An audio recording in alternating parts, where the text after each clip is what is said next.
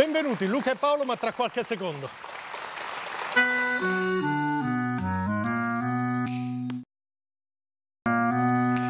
Si comincia da Luca e Paolo. Simone Weil scriveva il bene immaginario, il bene immaginario è noioso, il bene reale è sempre nuovo, meraviglioso. Il male immaginario è romantico, variato, ma il male reale è tetro, monotono, desertico, noioso. Sabato abbiamo assistito alla rappresentazione in tre dimensioni del male, quando dei terroristi sono planati su dei ragazzi che ballavano e li hanno uccisi, rapiti, stuprati. Quindi prima di cominciare questa sera vorremmo solo pensare a quei ragazzi, alla loro musica e a quegli altri ragazzi, quelli che sono scesi dal cielo e che la musica non ce l'hanno, non la possono avere. Quei due mondi si sono incontrati e abbiamo assistito al male reale, monotono, desertico. La speranza è che ci saranno sempre dei ragazzi a ballare e a farci vedere il bene e non li fermerà nessuno, nessun uomo e nessun Dio, neanche il più armato. E ora torniamo in Italia, torniamo dove si può ancora ballare. Certo. È giusto per tornare nel ridicolo, il decreto anti-rave oggi dimostra ancora di più la sua cretineria. Quindi abbiamo a che fare con un'altra guerra che divide gli italiani. E come diceva Churchill, però, Floris, noi confondiamo le guerre con le partite di calcio, le trattiamo nello stesso modo. E qui Churchill sbagliava, ma in difetto. Noi trattiamo tutto come le partite di calcio. Così domenica mattina in quel bar di Caracas che è Twitter, gli italiani parlavano di questo. Guardate, abbiamo proprio la Ecco, foto. c'è anche la foto. Ecco, al primo posto Israele Sì. e al secondo Genoa-Milan. Sì. E ne parlavano nello stesso modo, con gli stessi toni scandalizzati, le stesse divisioni tra tifoserie sorde, impegnate solo a urlare il proprio slogan, uguale. Per noi Genoa contro Milan e Palestina contro Israele è la stessa cosa, la stessa gravità. Cioè, nessuno che arriva a capire che quel che è successo al Genoa è molto più scandaloso. È una roba vergognosa. Ma mica, ma l'ha presa di mano, l'ha presa, non lo so, vabbè, vabbè. Però siamo in un posto strano, per esempio, in tutto il mondo succede una cosa, davanti ai fatti, no, si può capire che ci sia più o meno una ragione, più o meno un torto. Da noi no. no. Noi siamo speciali. Abbiamo il mare pulito, la pizza croccante, il gelato artigianale, il vino buono. Noi Tutte cose che nel 2023 hanno anche a Belfast ormai, non è che ce l'abbiamo solo noi. vabbè. Ma abbiamo una caratteristica che ci rende unici. Abbiamo tutti torto. Guarda che non è facile, Floris. eh. Eh. Avere tutti torto è una peculiarità tutta nostra. Prendi, guarda, il, il caso di cui si parla Sì. di più, il giudice apostolico, no? La giudice apostolica. Eh, la giudice adesso è diventata uno dei giudici che non hanno convalidato il fermo di Eh alcuni migranti, ora, sì. non applicando una legge del governo in carica. Allora, lei fa questa cosa, guarda, giusta o sbagliata che sia, non conta. E che sia giusta o sbagliata, cosa che dovrebbe essere dirimente, non gliene frega No. niente a nessuno. Perché se è sbagliata la contesti. Sì, è una cosa che si può contestare. Invece no, Salvini, per dimostrare che non è una buona giudice, pubblica un filmato in cui lei era a una manifestazione contro Salvini. E qui scatta il capolavoro, Eh sì. perché la giudice a questo punto passa dalla parte del torto. Eh certo. Un giudice non dovrebbe partecipare a una manifestazione del genere, come la moglie di Cesare, un giudice non deve solo essere imparziale, ma anche apparire imparziale. Quindi Salvini avrebbe ragione. Eh, Ma Salvini e ragione sono come l'acqua e l'olio, sono due parole che non vanno d'accordo, no? E infatti la domanda è stata: ma come ha fatto Salvini ad avere quel video? perché pare non solo strano, ma anche un po' inquietante che nel giro di poche ore lui abbia pubblicato un video di cinque anni prima. Cioè, chi l'ha fatto? Chi l'ha trovato? Chi glielo ha dato a lui? Ora, pare che gliel'abbia dato un carabiniere e sarebbe ancora peggio, anche, insomma, perché ricordiamo a voi e anche a Salvini che lui non è il fruttivendolo sotto casa, sarebbe il vice primo ministro. Eh, lo so, lo sembra impossibile, Eh, ma è il primo eh, ministro. sì, invece un vice vice- un vice premier non deve essere solo intelligente, deve anche apparire intelligente, come la moglie di Cesare. Quindi ha torto la giudice, perché non doveva essere là, e ha torto Salvini a pubblicare quel video. Hanno tutti torto, ma non è meraviglioso? Siamo un paese bellissimo, Ah. Floris, dove la logica non esiste. Guarda cosa sta succedendo ai Campi Flegrei. Uh. Ogni giorno ci sono dei terremoti e la settimana scorsa il governo è intervenuto. Ragazzi, hanno fatto il decreto urgente. Ora, i terremoti in campagna ci sono da quando si parlava in greco. Sì. E noi abbiamo fatto la settimana scorsa il decreto urgente. E cosa prevede il decreto urgente? No, ve lo facciamo vedere perché sembra incredibile. Guardatelo, guardatelo, perché eh, ci abbiamo... eh. Ecco, primo, un'analisi della vulnerabilità sismica dell'edilizia privata. Sì. E poi un'analisi della vulnerabilità sismica pubblica, dell'edilizia pubblica e un primo piano di misure per la mitigazione. Un primo piano. un primo piano. Ma come primo? Ma prima non c'era. È, è- un'analisi, un'analisi della vulnerabilità delle strutture. Ma Cioè, ora... oggi in un posto dove ci sono terremoti da qualche migliaio di anni e dove tra il 1982 e l'85 ci sono stati 16.000 terremoti. Nessuno di quelli che amministrano il paese si è mai messo lì e ha pensato, senti un po', ma quella scuola lì, se viene una bella botta che scrolla forte, Sì. sta su o viene giù la scuola? Eh, bah, vabbè. Vedremo. Hai sentito sti pomodori che buoni che sono? Ma sai che sono buoni davvero? Sai, avranno parlato d'altro, capito? Naturalmente se poi succede il disastro saremo tutti lì a dire mai più, la pagheranno, da genovesi noi ci siamo passati, ve lo diciamo già. Non pagherà un cazzo di nessuno. Eh, tranquilli. tranquilli, tranquilli. Ma rimaniamo alla politica italiana, anche perché non ci sono guerre che tengano. Ogni settimana fa- fanno la gara per regalarci proprio delle perle. Questa settimana ci ha pensato Fabio Rampelli, Ah. deputato dei Fratelli dell'Italia, che si desta, così ogni tanto si desta anche lui. Ecco, no? lo vedete in questa Ecco. foto, lo vediamo in questa rara immagine mentre pensa a che cosa ha combinato di buono lui nella vita, ma il tempo perso. Tempo fa aveva cercato di farsi notare per aver proposto una multa di 100.000 euro a chi avesse usato termini stranieri. E lì vinse il disco di platino per la cazzata dell'anno. Sì. Anzi, se posso, the disco of platinum for the cazzata of the year. Eh, sì, certo. Ma questa settimana il difensore dei confini nazionali si è ripetuto. Sì, eh. sì, guardate Ra- cosa ha fatto. Eccolo. Rampelli sfratta il quadro di Napoleone e ci depredò. Allora, cioè, allora, a Montecitorio c'è un quadro, oltretutto di un pittore neoclassico importante, un bel quadro che ritrae Napoleone, un quadro anche molto prezioso. Sì, eh, ma Rampelli eh, non lo vuole, gliene frega niente, lui perché Napoleone ci depredò. Cosa verissima. Sì, sì. Anche se per a dire il vero Napoleone depredò praticamente tutta l'Europa, solo che gli altri sono riusciti a farsi restituire tutto e noi no. Anche perché eh, allora eravamo stranamente divisi, cioè dovevamo ancora farla l'Italia. Sì, sì. Il livello di Rampelli politico è ridateci la Gioconda, anche se nessuno ci ha mai rubato pure quello. Abbiamo un deputato che canta La mamma di Zidane. Strano, strano non l'abbiano fatto ministro. Ma c'è tempo, eh. Ma non è l'unico che potrebbe darci la gioia, perché il mondo è in guerra, l'Ucraina, ora Israele, forse Taiwan. C'è da aver paura. Perché, Ma sai, se ci invadono, se un esercito straniero ci attacca, chi ci protegge? Per esempio, nella crisi in Israele siamo fondamentalmente in mano a due persone. Uno è il rappresentante dell'Unione Europea per il Golfo Persico, che è lui.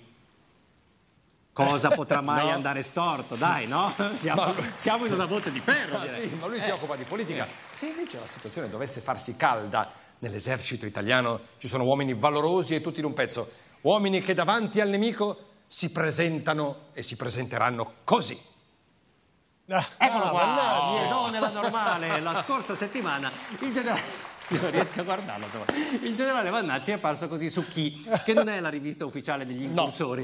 Un servizio fotografico in spiaggia. Fatto, diciamo che Vannacci è un Gianluca Vacchi che però si è fatto da solo, insomma, Sì. che non aveva la famiglia alle spalle. Forse eh, sta mostrando ai nemici che anche quando è in spiaggia e in abiti civili Sì. è ancora in grado di sferrare calci volanti. Non si capisce se con quella gamba alzata vuole emulare una mossa di Jean-Claude Van Damme. Sì, ho una coreografia di Cocchi e Renato. Ma la cosa bella però, eh, Floris, è che l'italianissimo e virile generale che per lavoro da ordini a migliaia di uomini, e beh, per fare questo servizio sulla spiaggia ha ubbidito lui agli ordini di un fotografo. Ma Eh, Ce lo generale, vediamo lì? eh. Generale, sulla gamba. Sì, l'anno ci è piegato, Sì. non così di più. Sì. Forza con quell'acqua, scalci più forte. Fai l'amore con l'obiettivo, così fai lo sguardo sexy. Ora, si può essere d'accordo o meno con le idee del generale, per esempio mio nonno sarebbe d'accordissimo, anche se forse pure lui, forse pure nonno, sarebbe rimasto un po' interdetto davanti a una risposta. Allora, la domanda era... L'intervista Sì, delle di- l'intervista su chi, eh? Eh, E se sua figlia fosse gay?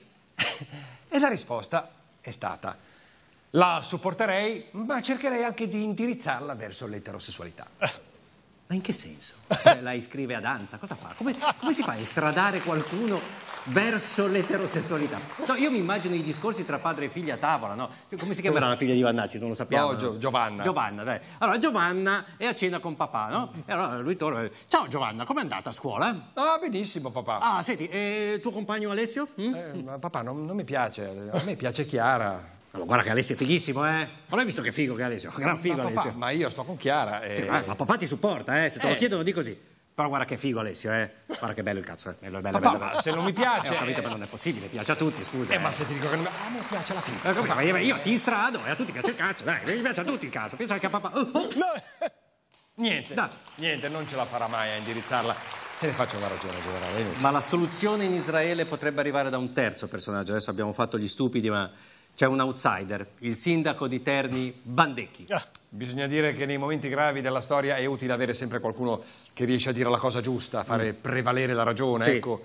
Ecco, ecco, come propone, ecco cosa propone il primo cittadino di Terni. Ecco. Sentiamolo. Dovevamo sentiamo, tenere vivo Saddam. Hussein che oggi dava due legnate Hussein. in bocca all'Iran. Per me, Eh? se oggi Gaza viene spianata, va bene. Purtroppo il Ah, mondo è ecco, pieno di persone per bene che si possono trasformare in animali in un attimo. Io faccio parte di capito. questi. Ah, lui! Nessuno mi deve rompere le palle. Nessuno, È capito? bello quando vince la politica e non la violenza, perché la politica... Tu gli romperesti i coglioni a Ma no, no, la politica è partecipazione. Finalmente uno... eh, A proposito di partecipazione, sabato 50.000 persone si sono ritrovate a camminare insieme nelle strade di Roma. Eh, eh, lo so, succede tutti i giorni. Non esistono più i taxi, purtroppo. Ma no, Cioè, no, no, no, quello no. è vero, sì, sì. No, no, non sono finiti in strada perché non c'erano i taxi, ma per la manifestazione della CGL. Bisogna dire che la notizia... È passata totalmente inosservata. Cioè, non Infatti, li ha cagati sabato proprio. purtroppo pur- è successo di tutti e questo non li ha cagati nessuno. Una volta la CGL riusciva a bloccare il paese, ora il paese si blocca tranquillamente da solo. Insomma. Sì, eh, Sì, alla manifestazione c'erano i sindacati e le opposizioni. Landini era lì per combattere le ingiustizie sociali. E Schlein era lì per combattere Conte, quindi Schlein si è vantata di essere riuscita a portare sabato in piazza tutto il PD. Quindi Tutti e sei, Sì. segno che sono tornati uniti. O che il sabato pomeriggio forse non sanno che cazzo fare, Eh, che è più probabile, sì. Con tutto l'amore per Schlein, l'impressione è che proprio non buchi lo schermo, non riesca a farsi notare. Conta così poco che sabato in manifestazione non c'era nessun carabiniere a riprenderla di nascosto. E quando non, c'hai i carabinieri che ti non vale riprendono, no, niente. Flores, eh, dai. Eh. E che cosa ha fatto sabato in piazza? Schlein ha fatto una cosa nuova. Sì. Ha cantato Bella Ciao. Oh. E basta, ma varia un po'. Se no sembra che sai solo quella. Schlein fa con Bella Ciao Quello che Marco Ferradini ha fatto con Teorema, canta sempre, quella, e basta. eh. Nel, nel PD è inutile negarlo, manca una voce forte. E c'era, eh? C'era, ma nessuno se n'era accorto. C'era un politico che è stato anche messo un po' da parte. Eh, era uno calmo, tranquillo, ma come tutti quelli eh, tranquilli non bisognava farlo arrabbiare. Non parliamo di Liam Neeson, No, ma di Pierluigi Bersani. Te lo saresti mai aspettato? Ecco, proprio lui. In un'intervista del settimanale oggi chiedono a Bersani cosa ne pensi del generale Vannacci. Io pensavo rimanesse, invece lui ha risposto così. La destra parla come al bar, rispondiamole come al bar. Capito? La posizione Hai di capito? Bersani, cito testualmente, è a me frega zero del dibattito, che vuol dire Mi sono rotto il cazzo, adesso, adesso metto mani in faccia e calci in culo. Eh, questa E roba qua. Bersani continua, eh? Dice: La libertà di opinione non c'entra un tubo, c'entra il modo in cui si discute nei bar, di cui io sono un cultore. Hai capito, Nel Bersani? bar delle mie parti ci sono cresciuti, che vuol dire. Eh, spacco bottiglia e ammazzo in famiglia. sì, Cioè, facciamoglielo vedere, che se non ci si crede. Facciamoglielo vedere. Dice: Oh. Loro entrano nel bar e saltano sul tavolo. Io seguo il mio istinto, punto quelli che gridano più forte e ci parto. Capito, Bersani picchia subito più grosso, così gli altri si spaventano. E se qualcuno non è d'accordo, come risponde? Con la frase per cui è diventato famoso Bersani. Me ne frego! Oh, Dai, Bersani! vai! Spezzeremo le regne alla Grecia! Ah, ma vi lasciamo con una piccola storia di quelle che raccontano il paese meglio di qualunque altra. Vero. Vi ricordate che mesi fa un cittadino inglese, Ivan Dimitrov, eh, scrisse il suo nome sul Colosseo Sì. e Pirla tra l'altro si fece anche un video come usa Sì, tantissimo la adesso. cosa meravigliosa è che si scusò dicendo che non sapeva che il Colosseo fosse così antico. Eh, ma sì, lui pensava fosse un'attrazione moderna, un, un tagadà in pietra. Sì, lui capito? aspettava che cominciasse a muoversi, capito? Comunque, non solo si è scusato, però, devo dire, ha chiesto anche di quantificare il danno. Quant'è? E lo hanno quantificato, è intorno ai 1000 euro. E lui ha detto, ok, pago. Oh, e qui il A nostro... chi pago? Aspetta, il nostro paese diventa una favola. Sono cinque mesi che questo poveretto cerca di pagare allo Stato e non gli diamo l'IVA. Guardate, Colosseo sfregiato, turista vuole risarcire, nessuno gli comunica l'IVAN. Ma non è meraviglioso? Questi sono tre mesi che vuole pagare, noi non lo facciamo pagare. Però attenzione, eh, perché è arrivato, ho letto la notizia, adesso dal parco archeologico, adesso fa, fa vedere Alessandro, Sì. dal parco archeologico fanno sapere che il diri- la dirigente dell'ufficio bilancio e pagamenti del ministero si attiverà, quindi al futuro, Eh. per risolvere questo impasse. Tranquilli ragazzi, si attivano... Beh, però anche voi con calma. Eh, eh. Hai sentito sti pomodori che buoni che sono? Ragazzi, ma ci abbiamo dei pomodori in sto paese che sono pazzeschi. Ciao, a dopo. Luca e Paolo tornano dopo, diamo il benvenuto a Corrado Augias. Buonasera, dottor.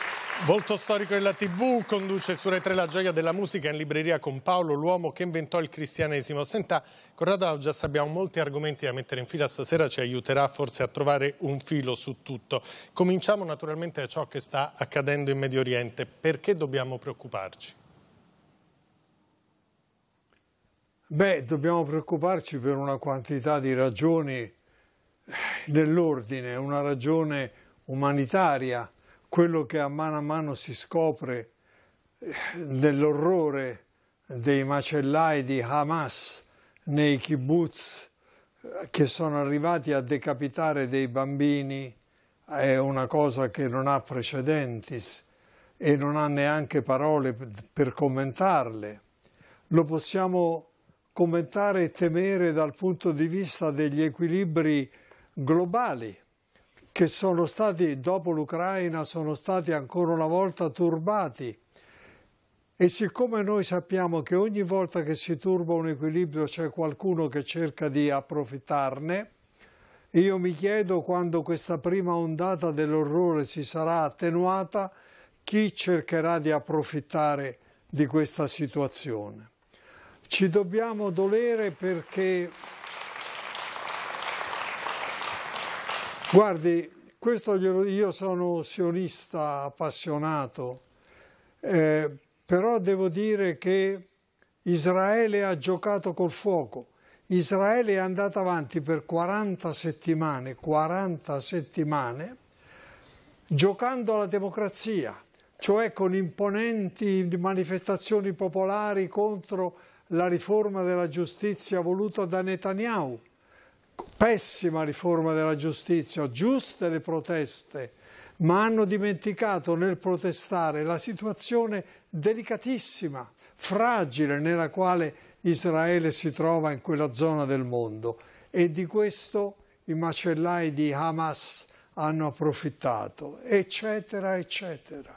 Senta Augias, eh, adesso ci saranno molte riflessioni da più punti di vista anche sulle cause di quello che è successo, sulle ragioni profonde è molto probabile, ora vedremo stasera in studio se succederà anche da noi, che si tornerà a dividersi tra quelli che vengono considerati gli amici di Hamas e quelli che vengono considerati gli amici del mondo libero. Quanto è giusta una eh, schematizzazione del genere e quanto può danneggiarci? Una schematizzazione del genere, come l'ha definita giustamente lei, è inevitabile. Guardi, io sono abbastanza anziano da ricordare quando questo è cominciato. Questa, questa, divisione è cominciata dopo la guerra dei sei giorni del 1967 e non nascondo che quella guerra ha rappresentato un mutamento profondo. La fulminea vittoria di Israele contro gli stati arabi coalizzati suscitò da una parte ammirazione profonda, dall'altra una profonda inquietudine. Questa cosa è andata avanti nel 73 con la guerra detta di Yom Kippur, di cui la replica di questi giorni celebra per così dire il cinquantenario. Anche lì si è rafforzata la, questa divisione. Io ricordo una manifestazione della CGL e dei partiti di sinistra nella quale si arrivò a mettere una bara a Roma, a mettere una bara sui gradini della sinagoga. Cioè a questo e oggi abbiamo gli studenti che plaudono ad Hamas, non ai palestinesi che hanno diritto al loro Stato, sia chiaro, su questo io sono fermo, ma ad Hamas che sono dei macellai, ripeto. Senta Augias,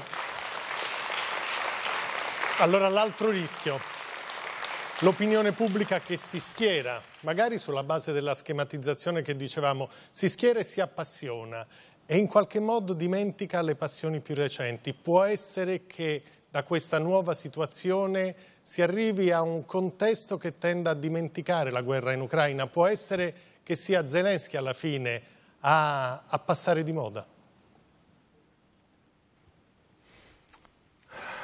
È una domanda difficile. È chiaro che questa situazione in Israele non dico che si normalizzerà perché le, tutte le previsioni sono che durerà a lungo, ma l'impatto emotivo tragico di queste ore a poco a poco si attenuerà e poi dipende da quello che succederà sul fronte ucraino, cioè dipende da quanto Vladimir Putin vorrà approfittare di questa situazione per rilanciare la sua azione militare. Io questo non lo so. Forse in queste ore non lo sa neanche Putin. Tutti stanno, guardi, Floris, stanno tutti calcolando le conseguenze delle azioni possibili. Le dico una cosa, Israele poteva entrare, eh, l'esercito israeliano poteva entrare a Gaza ieri sera, non l'ha fatto perché stanno calcolando che cosa può succedere dopo l'ingresso. È un calcolo complicatissimo. La stessa cosa starà facendo Putin. Come posso sfruttare questa situazione? Sono cose e risposte che arriveranno non subito. Anche noi cercheremo di calcolare delle conseguenze, delle conseguenze che saranno anche immediate, ad esempio sul fronte dell'economia. Ora noi ci poniamo con lei la questione se siamo, diciamo, un paese e abbiamo una classe dirigente adeguata a affrontare questo momento, ma non dal punto di vista della guerra. Le faccio vedere classifica dello spread e dei rendimenti. In che momento capita questa guerra? Capita che l'Italia è in Ecco, vediamo, con eh, lo spread oggi ha superato 200 di nuovo, ora si è fermata a 196 e siamo poco sopra la Grecia, la Spagna 111, il Portogallo 70, Francia 56, Olanda 36. Siamo in un momento molto complicato della nostra economia. Siamo in attesa del giudizio delle agenzie di rating che potrebbe avere un peso molto forte. Stiamo presentando una manovra che dà una crescita basata su dei calcoli molto flebili, che già questa fiammata di guerra in Medio Oriente costringe a rivedere. Pagheremo sul fronte del gas il prezzo. Allora, quanto siamo pronti e come si sta mostrando il governo davanti a questa emergenza? Guardi, Floris, devo, devo dire male, male, perché quella tabella è terribile. Quella tabella fa vedere che i buoni del tesoro italiani sono quelli che rendono di più, cioè che costano di più, costano più di quelli della Grecia che noi davamo qualche anno fa per perduta e, e a, a scendere tutti gli altri fino a quelli dell'Olanda al 3%. Questa è una cosa. La seconda cosa è che abbiamo, eh, abbiamo impiantato, avevamo, avevano impiantato una manovra di bilancio che l'archeggiava e che a poco a poco si è dovuta restringere perché si è, si è capito che i soldi non ci sono. Non ci sono per attività fondamentali, tra le quali, caro Floris, io metto al primo luogo la sanità e la scuola. La sanità è, in, è debole, è al collasso, la scuola è in condizioni, soprattutto in certe zone del paese, è in condizioni molto brutte. È, quella è la nostra salute, la salute di tutti i cittadini e il nostro futuro. E mentre queste cose accadono, si progettano, secondo me solo in teoria, ma basta quello a dire l'incoscienza, si progetta un'opera faraonica come il ponte sullo stretto, ma come si fa ad avere, a non avere la consapevolezza? Quel, quella sarà pure un'opera necessaria, non lo metto in dubbio, eh, fatte tutte le, le, assicurateci tutte le protezioni ambientali, eh, criminali e quant'altro, ma non adesso Però... in tirarle in basso in questo momento. Ecco, e, e Coradoggias, le domando qual è allora il giudizio, o almeno elementi che in lei le fanno avere un giudizio di fondo su questa classe dirigente. Ci può dare dei flash di che cosa la spinge a pensare all'adeguatezza o meno di questa classe dirigente? Guardi, sarò sincero, comincio dalla Presidente del Consiglio la quale è una donna che ha avuto purtroppo l'educazione politica, intendo, l'educazione politica che ha avuto, ma che è molto intelligente, molto astuta e si è resa conto rapidamente del gioco in cui sta giocando una volta diventata Presidente del Consiglio di un grande paese europeo. Purtroppo lei sa esattamente come stanno le cose e sa esattamente quale dovrebbe essere la scelta da fare, solo che non la può fare perché è divisa da, da, dalle forze che le tirano la giacca, l'abito, il tailleur verso il suo passato, minacciando implicitamente se no non ti votiamo più, e quelle forze centrali moderate che magari voterebbero volentieri una Giorgia Meloni diventata una leader conservatrice di stampo europeo. Lei sta a cavallo di questo, di questo bivio, di, questo, di questa scelta e non riesce a farla. Quando lei mi chiede dia un giudizio, ecco il primo giudizio che do è questo. Poi chiaramente ci sono dei ministri che sono, non sono adeguati al compito che devono svolgere e insomma Senta. è un governo tutto sommato non all'altezza allora, del momento drammatico. Allora, prendiamo il momento drammatico, la reazione, la reazione all'attacco di Hamas, là come si sono mostrati?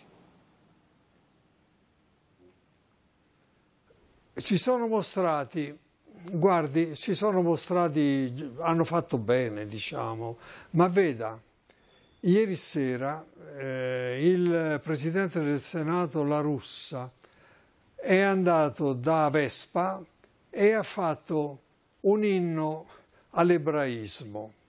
Io che Dio sono vicino a Israele, gli direi calma, signor Presidente, calma lei non si dimentichi che solo pochi mesi fa confondeva le SS con una banda di musicanti, quindi questo entusiasmo dia una misura a questo entusiasmo, ecco, eh, non, non, non, eh, insomma un po' di eleganza.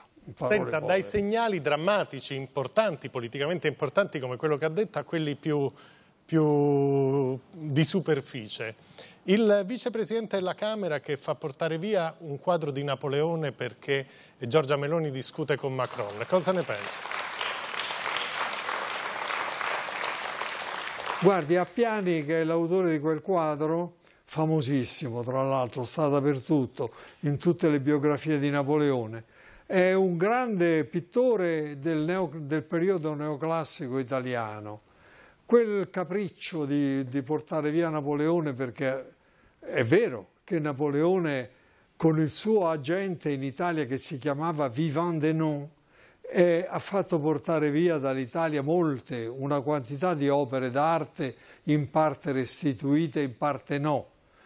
Però, santo cielo, Napoleone ha portato in Italia anche le campane della libertà, il nostro risorgimento di cui i rappresentanti di Fratelli d'Italia dovrebbero essere orgogliosi quanto lo sono io, il nostro risorgimento è cominciato con, le, con la campagna di Napoleone, questo vorrei che si ricordasse, quindi anche lì un anche po' lì la misura. Allora io torno alla sua immagine di Giorgia Meloni al bivio, no? in fondo è un bivio tra la ricerca del consenso e il garantire l'interesse dello Stato.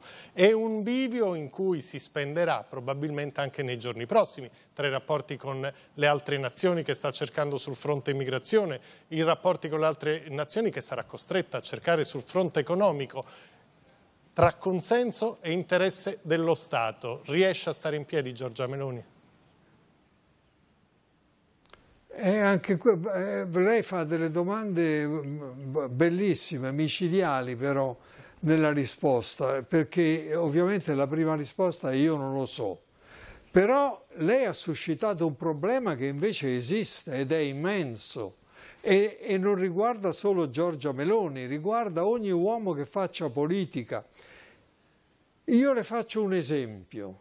Eh, 40 anni fa il cancelliere tedesco Helmut Kohl promosse nel 1990, cioè un anno dopo la caduta del muro, promosse la riunificazione delle, Germanie, delle due Germanie sapendo benissimo che sarebbe stata un'operazione costosissima dal punto di vista economico, finanziario, proprio di soldi, perché il dislivello economico tra la parte occidentale e la DDR era enorme e dal punto di vista elettorale anche costosissimo.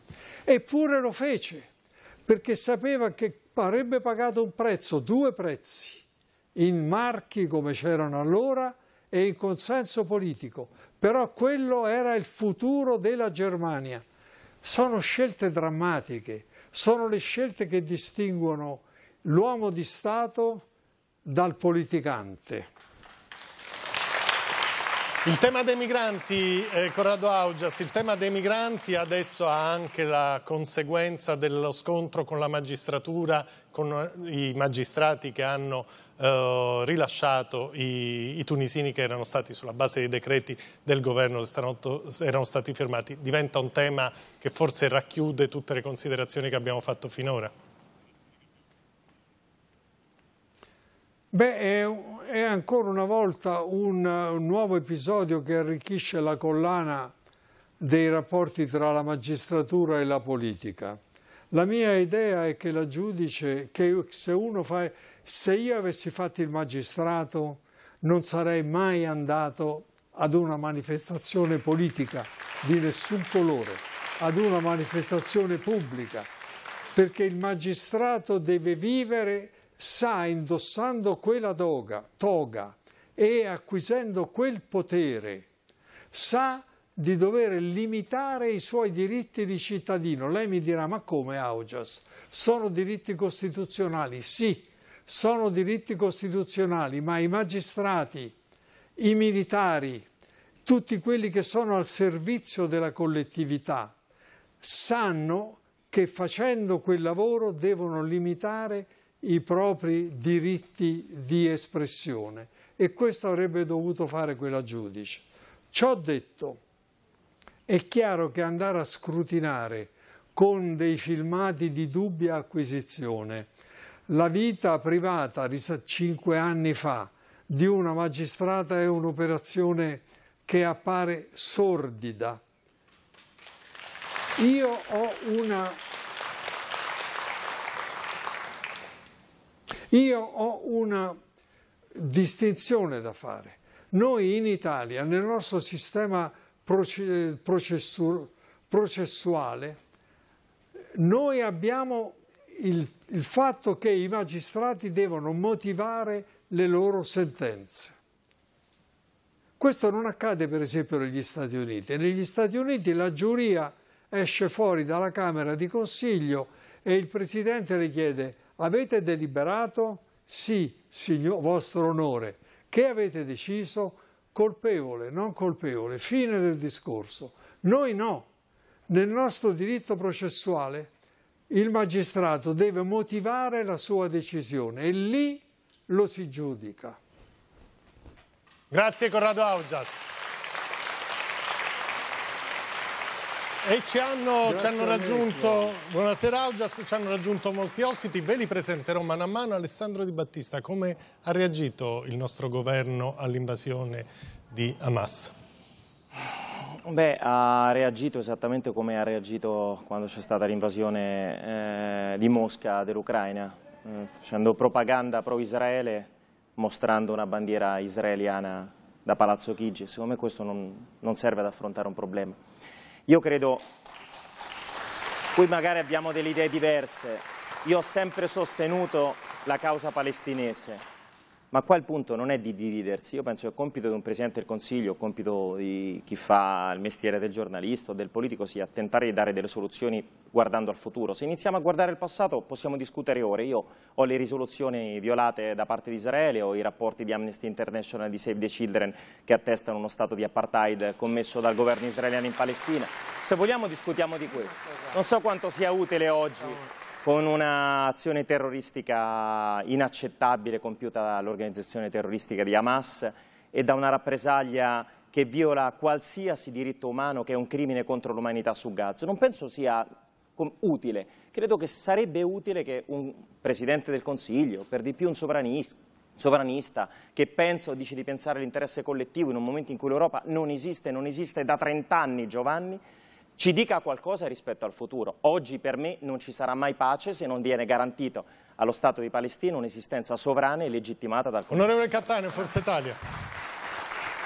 Questo, questo, governo ha reagito a testa alta e senza alcuna ambiguità. Noi stiamo con lo Stato di Israele, punto. E oggi non è tempo di distinguere, non è tempo di tirar fuori le risoluzioni.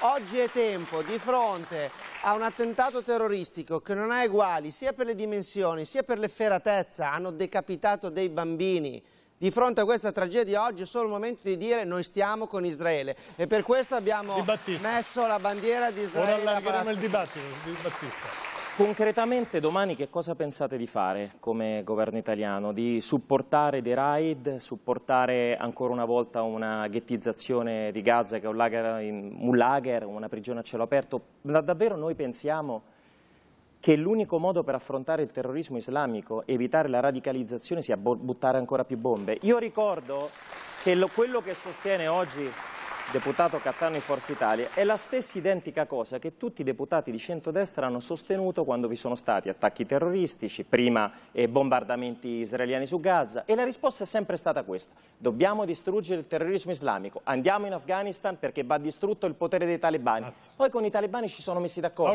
Il mondo Io... oggi è più insicuro. Io resto, resto colpito da questa, eh, questo filosofeggiare Oggi è il momento, diceva Cattaneo, di essere schierati da una parte, dalla parte dell'aggredito. Non si può competere la, o, o, o, fare l'occhietto all'aggressore. Verrà il momento della, della, conciliazione. Una cosa, Giovanni, voglio aggiungere.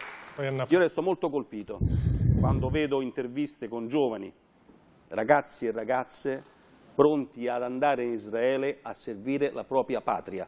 Noi dobbiamo prendere lezione da questo amor di patria, da questa passione civile degli israeliani. Anna Falcone. I crimini contro l'umanità sono da entrambe le parti e purtroppo sono da entrambe le parti da molti decenni. E quello che ci fa oggi orrore, e su questo non c'è nessuna ambiguità, ci fa orrore. E potrebbe farci ancora più orrore se eh, innalzando bandiere, schierandosi invece che trovare soluzioni, dovessimo vederlo ripetuto dall'altra parte. Beh, ci fa così orrore, io lo dico da giurista perché non sono iscritta a nessun si partito. Guerra, si chiama eh, guerra. So, si chiama guerra, infatti le ho detto che non Andiamo sono neanche crimini, questi sono crimini contro l'umanità, è qualcosa in più rispetto ai crimini di guerra, lo insegniamo nelle università, ma non lo ascoltiamo purtroppo dalle istituzioni. Quello che vediamo purtroppo oggi è invece una politica che innalza bandiere, non cerca soluzioni, è un sostanziale fallimento non solo del ruolo dell'ONU e noi siamo siamo membri dell'ONU, ma anche un enorme fallimento del ruolo dell'Unione Europea. Perché allora, in Europa di Mazza perché poi abbiamo temi da aprire con Di Bella Piccolotti e Dragoni. Io chiedo, professor Falcone, chi oggi ha la faccia l'autorevolezza e l'autorità di dire a Israele porgi l'altra guancia. Ma chi l'ha Nessuno detto? ce l'ha. Nessuno, Nessuno sta dicendo questo. Nessuno osa dirlo. guardi, mi scusi, ma la sua risposta serve proprio a dimostrare come qui non si vuole affrontare il problema.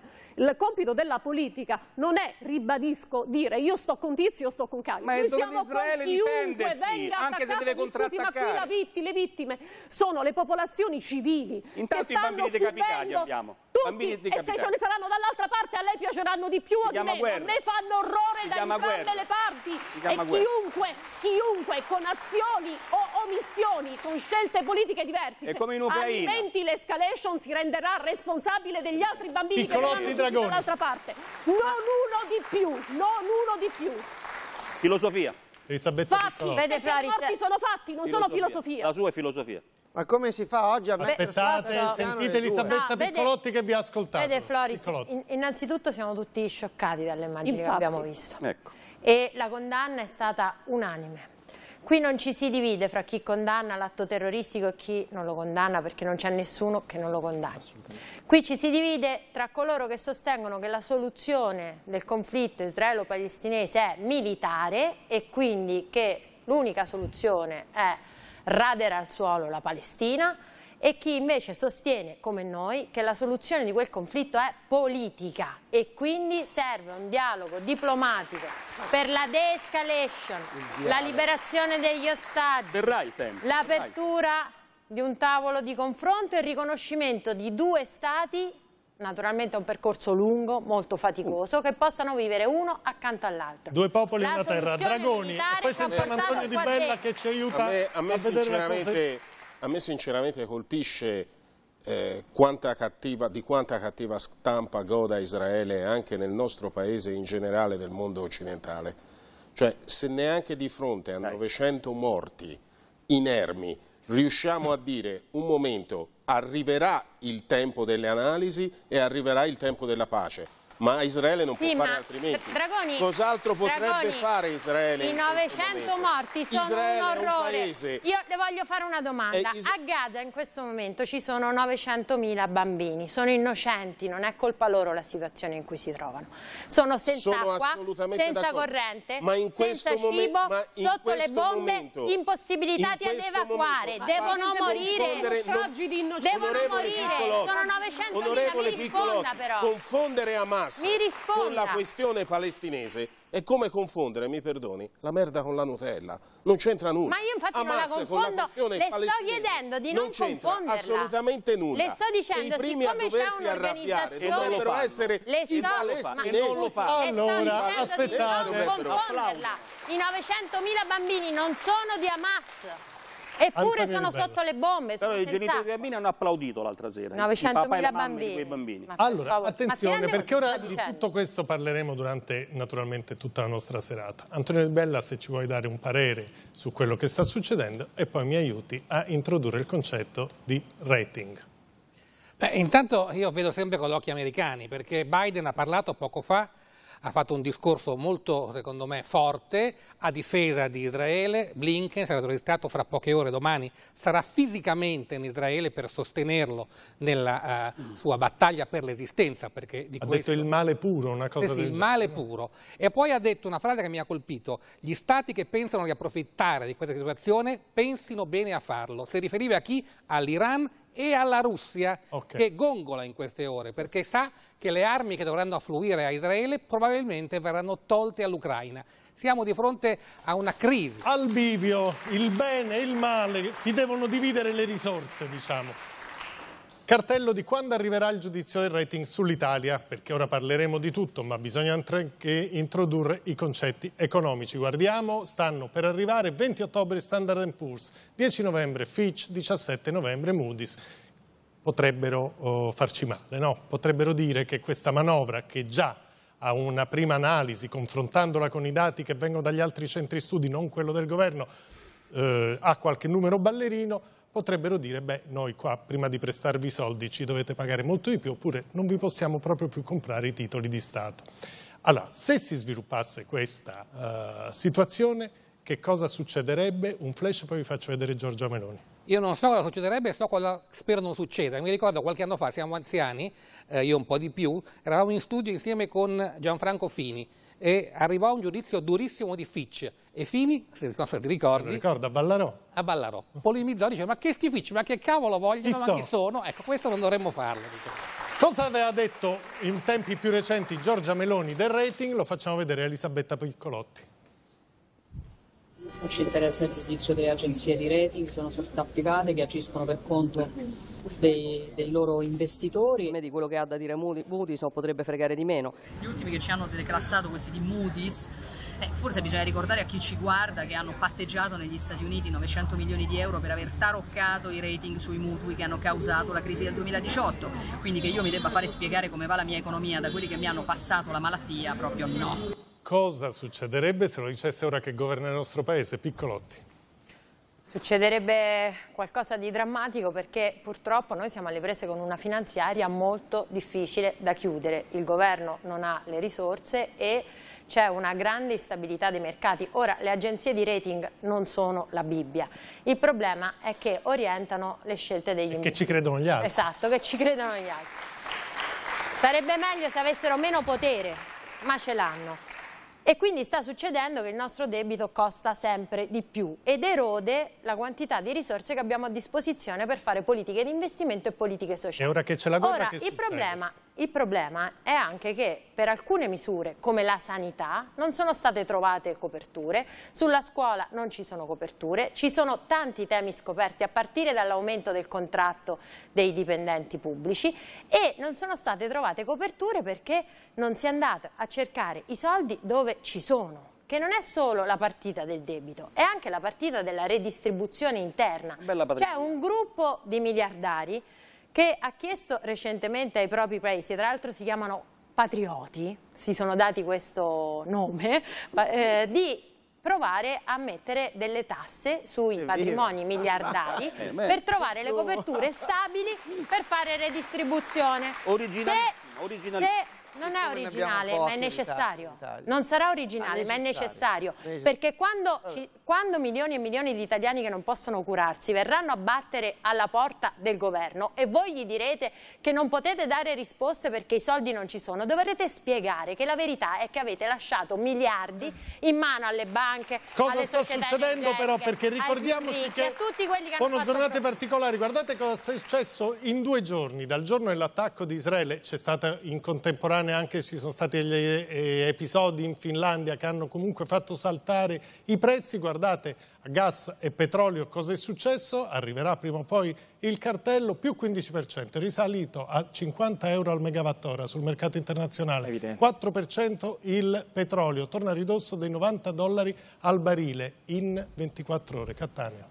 Beh, intanto voglio dire quello che non succederà da noi, che è quello che ha appena detto l'onorevole Piccolotti, perché se la sinistra vorrebbe aumentare le tasse, mettere una patrimoniale, magari anche la tassa di successione, noi questo sicuramente nella finanziaria un governo Certo, per i ricchi ci pensate non sempre, farà. il No, problema la non, farà. tanto non, non vi sono i riguarda. ricchi, è la classe il media che magari ha la lavorato una vita per passare i una casetta poveri, loro ai propri figli e senza voi volete sanità, toglierle senza pure scuola, quello, senza fondo affitti, Detto senza questo, trasporto pubblico ovvio- perché voi dovete garantire gli interessi dei ulteriore più ricchi. crisi eh, si muovono diciamo, anche i prezzi dell'energia, è ovvio. Noi infatti politicamente cosa abbiamo detto oggi con Tajani? Che va circoscritta il più possibile la crisi. Noi stiamo lavorando perché non si infetti ulteriormente, non ci sia un'esplosione dell'inflazione ulteriore, stiamo lavorando per essere credibili sui mercati Cosa succede internazionali. quando arriva la guerra e ci sono le ragioni ideali? Guardate quando abbiamo smesso di prendere il gas dalla Russia, abbiamo aperto altri mercati, da chi ci siamo rivolti? Arriverà il cartello, ci siamo rivolti all'Algeria che adesso appoggia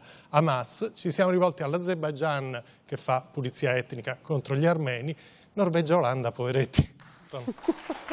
Verissimo, io tra l'altro lo dico da mesi. E tra l'altro andando contro l'interesse collettivo europeo, la Germania è in recessione quest'anno proprio per la strategia folle sull'energia adottata dall'Unione Europea, avallata dal governo eh, sovranista della Meloni e dei rappresentanti del E c'è Cacciari, pochi secondi arriva il professor Cacciari.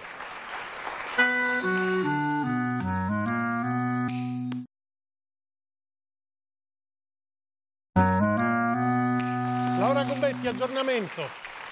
Sì, si continua a combattere Giovanni a Gaza, un raid israeliano, 11 morti, 23 feriti, ma si combatte anche nel territorio israeliano. Intanto ad Ashkelon eh, tre palestinesi uccisi, ma anche scontri a Gerusalemme, due palestinesi uccisi, palestinesi che hanno lanciato ehm, fuochi d'artificio contro la polizia israeliana. Dunque eh, ci sono anche razzi che arrivano dalla Siria su Israele che sta rispondendo al fuoco andando a combattere le postazioni appunto dalla Siria. Benvenuto Massimo Cacciari. Buonasera. Professore, ci aiuti un po' a capire che lettura dà dei fatti di Israele. È una tragedia tra Israele e palestinesi che dura da, da decenni, praticamente da- dalla fine della seconda guerra mondiale e non trovo una soluzione. E una soluzione può essere trovata soltanto sul filo della- di alcune risoluzioni molto importanti che l'ONU via via preso e che sono rimaste completamente disattese. E occorre da una parte, e lo so che non è semplice, è tutt'altro che semplice, riconoscere il diritto del popolo palestinese ad uno Stato che sia uno Stato e non un ghetto e dall'altra parte un riconoscimento pieno, senza se e senza ma, dello Stato di Israele.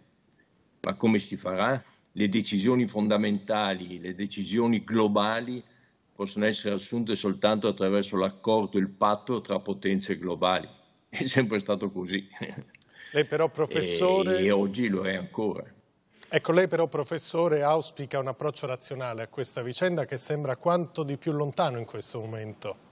Veda Floris, ormai non si ragiona più da nessuna parte, perché ragionare secondo la mentalità, secondo la razionalità occidentale, cui, che è la sola di cui me ne intendo un po', ragionare vuol dire sempre risalire alle cause, non si sa nulla fin tanto che non si sanno le, le cause di un fenomeno. E quindi bisogna, di fronte ad ogni guerra bisognerebbe sempre saper risalire alle cause comprenderne le ragioni eh, la, nei limiti del possibile con la massima obiettività. Certo che non saremo mai del tutto obiettivi per vari motivi. Non è realistico pensare che si possa tenere appunto un popolo nelle condizioni in cui attualmente versa quello palestinese e non è realistico pensare di poter abbattere lo Stato di Israele. Quindi da parte dei contendenti o vi è un principio di realtà che, che, che subentra, che si impone oppure saranno periodiche tragedie come quelle che viviamo da anni. Le guerre hanno una storia e se noi vogliamo conoscerne le cause e quindi cercare di rimuoverle, occorre sapere questa storia, non puoi semplicemente andare avanti a occasioni. Oggi è successo, oggi eh, c'è l'11 settembre, basta, e prima non c'è niente. Oggi c'è l'invasione russa e prima non c'è niente. Oggi c'è Hamas che, che invade Israele e prima non c'è niente. E, e, non possiamo ragionare, non è un ragionamento, è puro infantilismo. Però, però, professore, lei dice ragioniamo sulle cause, ma ragionare sulle cause in questo caso può voler dire anche approfondire, analizzare le responsabilità di Israele nei confronti della popolazione palestinese. E questo porta spesso nella cultura anche occidentale a un automatismo, no? Sei amico di Hamas, sei contro Israele. Ma questa è la mentalità succube nostra, perché negli Stati Uniti, ad esempio, è pieno di intellettuali, è pieno di politologi che criticano la politica americana in Ucraina, senza che ciò susciti il minimo scandalo. Questa posizione succube è propria dei provinciali, è propria dei poveretti, è propria di quelli che devono stare sempre con un padrone eh, per, per poter sopravvivere. Ma scherziamo? E in Israele? E in Israele non ci sono forse forze politiche in Israele che sono apposte a Netanyahu, che hanno fatto una battaglia strenua contro la politica di Netanyahu? Cosa sono? Sono grandi democrazie, sia gli Stati Uniti che Israele, nella quale sono, che, che c'è chi contende radicalmente con le politiche diciamo, dei governi che si vanno succedendo e soprattutto oggi nei, nei confronti della politica di Biden e nei confronti della politica di Netanyahu. E questo non suscita alcun scandalo ha anche questo modo di pensare un effetto boomerang in qualche modo, perché eh, l'opinione pubblica poi su realtà complesse come quella della guerra è volatile, in qualche misura è volubile. Ci dimenticheremo della guerra in Ucraina? Eh, c'è anche questo rischio ovviamente, c'è anche il rischio perché in Ucraina è una situazione che va risolta chiaramente, no? perché non possiamo assistere alla alla, alla, tragedia e al massacro di quel popolo. È chiaro che bisogna sostenerlo, è chiaro che bisogna giungere a un punto in cui lì da parte russa venga riconosciuto, chiamiamolo come vogliamo, l'errore, l'accordo, quello che volete, ma venga riconosciuta insomma la colpevolezza, perché lì c'è una responsabilità precisa, tu non puoi invadere un altro paese. Ma anche lì, veda, manca principio di realtà, perché da una parte c'hai una Russia che non, che non ha ancora eh, dire, metabolizzato il fatto che è una potenza che è stata sconfitta da una guerra fredda finché si vuole, ma guerra come giustamente si chiama, guerra fredda, è stata sconfitta. E quindi deve, deve ricollocarsi in un quadro di equilibri internazionali che non può più essere quello che aveva all'epoca dell'Unione Sovietica e della guerra fredda. Quindi un principio di realtà anche lì. E dall'altra parte altrettanto principio di realtà. Insomma, raccontami cosa vuoi. Far esplodere la federazione russa? Stai attento perché se vuoi far esplodere la federazione russa rischi appunto un conflitto mondiale. Oppure, oppure, vuoi semplicemente, come giusto, far capire alla Russia che non può comportarsi come quando invadeva Budapest e invadeva Praga? Anche qui sono principi di realtà E le politiche internazionali dovrebbero, e responsabili dovrebbero esplicitarle le loro linee. La mia linea realistica è che la Russia non può più permettersi di invadere Praga o di fare come a Budapest o ancora la prepotente come a Varsavia. Non può più. Fine. L'hai capita Russia? Bene. E quindi io, mm, l'Ucraina, la, la Lettonia, l'Estonia fanno quello che vogliono, vogliono i missili e non c'è niente da fare, te la devi mangiare Russia. Principio di realtà. Dall'altra parte, dall'altra parte, tu, Occidente, cosa vuoi? Far esplodere la Russia? Attenzione, è pericolosetto, perché non è più la potenza Unione, Sovi- Unione Sovietica o anche zar, però è sempre la Russia, vero? La Russia che va da, da, da, dai confini dell'Ucraina, dalla terra di confine, fino al Pacifico. Attenta, è un, è un problemino. E allora, principio di realtà. In ogni, in, se, se, vogliamo che la politica mh, si svolga con armi politiche, diplomatiche, eccetera, bisogna muoversi sulla base di un grande realismo, altrimenti rischi le tragedie perenni, continue, le guerre continue, con la speranza che poi non deflagrino in un conflitto mondiale di nuovo. E secondo lei questo approccio razionale, questo principio di realtà dovrebbe essere portato dai grandi eh, sui piccoli?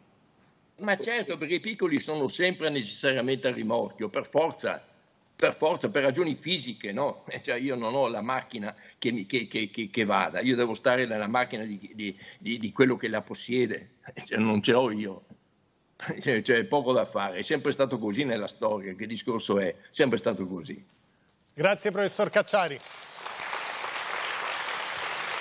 Grazie a lei. Ci ha raggiunto Stefano Bonaccini, presidente del PD e della regione Emilia-Romagna, sempre con Alessandro Di Battista, Mauro Mazza. Allora, lei che ne dice Di Battista?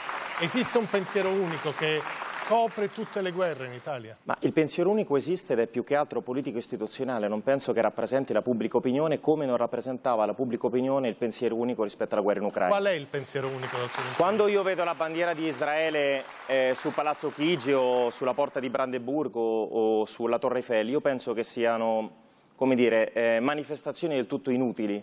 La solidarietà è evidente che, che sia necessaria eh, presentarla per le vittime di un massacro, ma io credo che i politici non dovrebbero trasformarsi in influencer, dovrebbero presentare delle soluzioni. Sa Floris cosa a me oggi mi indigna? Che le parole più sensate, anche al costo di sembrare per l'ennesima volta putiniano, e vi assicuro che non lo sono, le parole più sensate rispetto al conflitto israelo-palestinese che si è oggi di nuovo trasformato in guerra e che va avanti da 70 anni, le ha dette il ministro degli esteri russo Lavrov e le ha dette Putin, dicendo è urgente il riconoscimento dello Stato di Palestina. L'Italia non riconosce lo Stato di Palestina perché? Perché non vuole inimicarsi, come sempre, gli Stati Uniti d'America e Israele. Mauro Fino Mazzi. a che non si riconoscerà Allora- uno Stato, ma come si pretende di risolvere un conflitto le cui cause eh, sono vecchie di 75 anni? Chiedo scusa. Prima vivere e poi filosofare. Questo è il momento dello sconvolto. Siamo tutti sconvolti da quanto è accaduto questa tarda. Allora vi faccio una domanda a Di Battista, al Presidente Bonaccini, se Floris eh, mi consente. Chi aveva l'autorevolezza di dire all'America dopo Pearl Harbor, dicembre 41, fermatevi, non reagite? Chi aveva la, la- la forza di dire dopo le torri gemelle 2001 all'America fermi, non fate gli attacchi contro i terroristi? Nessuno. E chi ce l'ha oggi di dire a Israele fermi la pace? Dopo quello che è successo? Anche no, anche Sì. no. Io credo che oggi mettere a ferrafuoco Gaza, tra l'altro nessun crimine terroristico commesso dal gruppo terroristico di Hamas giustifica è un bombardamento in una scatola di sardine dove vi è la densità abitativa il doppio dei quartieri spagnoli di Napoli. Quindi immaginiamo che cosa significa buttare una bomba lì. Nulla, nessun atto terroristico da condannare, il più terribile, giustifica un crimine contro l'umanità. Ditemi voi com'è possibile vivere all'interno di 360 km quadrati, meno della metà del comune di Roma, non poter uscire e non poter scappare dalle bombe. Ma anche i palestinesi hanno dei diritti. Mauro Certo. Mazza, Qual, e qual è uno garantito? Aspettate perché il punto non è tanto cosa pensate, ma dice Di Battista, rivediamo la foto di Palazzo Chigi e la domanda è per lei e per Bonaccini, e non è così che si affronta la guerra, non è, diciamo, manifestando un sostegno a una delle due parti. Lo è manifestando piena solidarietà all'aggredito e pieno contrasto alla come per l'Ucraina, è esattamente lo stesso Bonaccini, film. lei che ne pensa? Penso che dobbiamo difendere prima di tutte le democrazie, Israele è una democrazia, è stato attaccato in maniera indiscriminata e ingiustificabile, tra l'altro colpendo una marea di donne, uomini, tanti bambini. Eh, dopodiché io sono uno di quelli che pensa che il rischio è che il principale sconfitto sia una flebile speranza di pace alla quale poco hanno contribuito entrambi nel recente anche passato, in particolare la destra israeliana non ha favorito un dialogo, però va ricordato che se non si isola Hamas e gruppi fondamentalisti che hanno un solo obiettivo, è quello di distruggere Israele e il negare il diritto a Israele di esistere.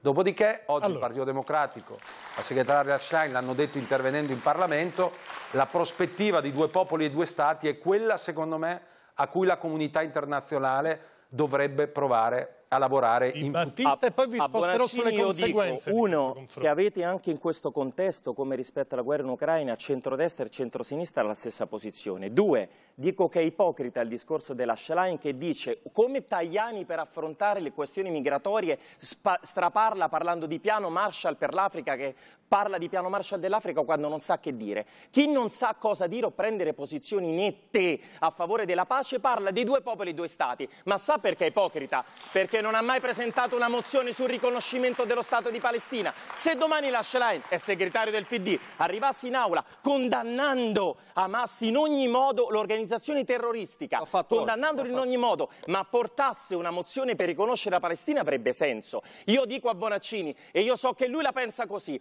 io sono d'accordissimo sull'isolare Hamas, tra l'altro che è diventato il miglior alleato politico di Netanyahu. Se Netanyahu oggi può parlare di altro e non dei processi che ha e della galera che rischia, e anche per Hamas. Per isolare Hamas si buttano le bombe su Gaza. Così state formando, formerete decine di migliaia di terroristi del futuro. È palese. La risposta di Bonaccini.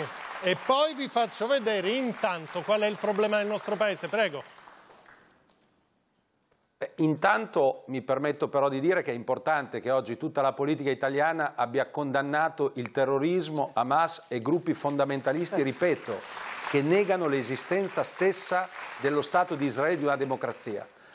Israele ha tutto il diritto di difendersi secondo il diritto internazionale, dopodiché anch'io credo che se dovesse succedere un'aggressione a Gaza indiscriminata, senza corridoi umanitari e rischiando di mettere a rischio tantissima parte di popolazione civile si rischia di creare nuovi terroristi. Per cui io mi auguro che sia un lavoro della diplomazia ma, scusa, per, Tazza, ripeto, sta succedendo sta questo. succedendo, sta succedendo, ma ripeto quello che ho detto all'inizio, nessuno oggi a caldo, dopo la tragedia di quell'assalto terroristico, ha l'autorevolezza. Può esprimere un auspicio, ma non può dire se le fermati, nessuno può dirglielo. Qual è il problema, Stefano Bonaccini? Che questo scontro che abbiamo conosciuto anche, no? perché possiamo mettere al posto della parola Israele e Palestina, possiamo mettere Ucraina e Russia, questo confronto che ha portato avanti per lungo tempo il nostro Paese, in qualche misura, dicono degli osservatori attenti, però voi in Italia avete anche un altro problema enorme ed è quello economico. Non è che adesso iniziate a parlare di altro. Cosa succede? Succede che cartello 46 a breve ci diranno come stanno i nostri conti delle agenzie di rating di cui eh, eh Giorgia Meloni fino a poco tempo fa diceva quello che vi faccio sentire. Ascoltate. Non ci interessa il giudizio delle agenzie di rating, sono società private che agiscono per conto dei, dei loro investitori. Di quello che ha da dire Moody's o potrebbe fregare di meno. Gli ultimi che ci hanno declassato, questi di Moody's, eh, forse bisogna ricordare a chi ci guarda che hanno patteggiato negli Stati Uniti 900 milioni di euro per aver taroccato i rating sui mutui che hanno causato la crisi del 2018. Quindi che io mi debba fare spiegare come va la mia economia da quelli che mi hanno passato la malattia, proprio no. E invece Bonaccini saranno proprio loro a dovercelo spiegare. Lo teme questo momento? Lo temo perché inevitabilmente rischiano di aumentare i prezzi dei materiali, dell'energia, del costo della vita. Giorgia Meloni deve preoccuparsi di quello che le diranno gli italiani, io temo, perché aveva promesso con video di fianco alle pompe di benzina di azzerare le accise e addirittura la benzina è a prezzi che poche volte era stata conosciuta. Aveva promesso sull'immigrazione, lei, i suoi amici, porti chiusi, prima gli italiani e finita la pacchia e gli immigrati. Io non do colpa al governo che arrivano sulle nostre coste, ma gli immigrati sono raddoppiati.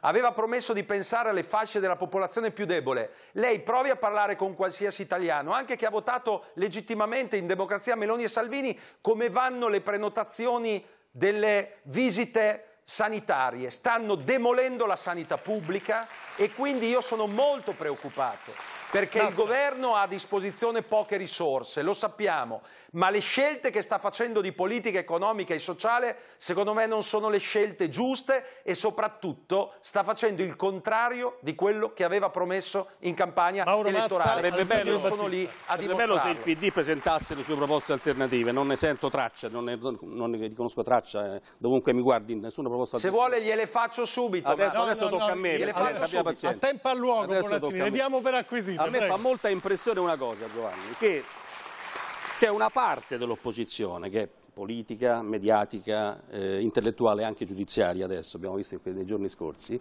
che fa il tifo per Macron quando litiga con la Meloni e per Scholz la stessa cosa. Fa il tifo perché lo spread va dalle stelle, fa il tifo perché la Commissione non accetti il PNRR, invece pare che lo accetti, modificato dal governo, fa il tifo per le agenzie di rating, è un'opposizione sfascista. Di Battista. Io credo che alcune cose siano vere, eh? nel senso che c'è una parte di opposizione che magari da sempre... Il Moia Sansone, sì, via. Però, eh, eh, dottor Mazza, non sono io. Io faccio parte di quei cittadini che no, vorrebbe... Scusate. Vorrebbe no, nel senso che, Ma non è che si parlato- rischia lo schema, noi per questo abbiamo, non è che si rischia lo schema amici di Hamas, amici di Putin, se solo prevedi quello che può succedere. Cioè, quando arriva il rating uno ne ha paura, non è che tifa a favore del rating. No, il punto è che quando la Meloni parlava di non sono loro i padroni delle nostre linee economiche, aveva ragione lei, quella Meloni. Il Potrebbe è ripeterlo quando oggi giorno, eh? la Meloni è ripeterlo. diventata Presidente del Consiglio, non si è minimamente impegnata per affrontare tutta una serie di regolette, di trattati che si poggiano su cosa? Su quelle agenzie rating e sul PIL. Dottor Floris, nel- oggi il Fondo Monetario Internazionale, io non gli do particolare credito, non è che è, è il Vangelo, però gli danno credito quei poteri che- eh, europei che lei sta ossequiando in questo momento, ha di fatto considerato la crescita del PIL in, in Italia 2023-2024 inferiore del- rispetto al previsto e ha eh, dichiarato che la Germania e l'economia tedesca è molto legata a quella italiana è di fatto in recessione. Qual è il punto? È che la Meloni ha delle responsabilità su questo perché, Allora, perché per me non governa. Le chiedo una chiusura sul fatto che diceva Mauro Mazza, attenti perché tra qualche giorno potrebbe tornare a dirlo. Può essere, vero? Bonaccini.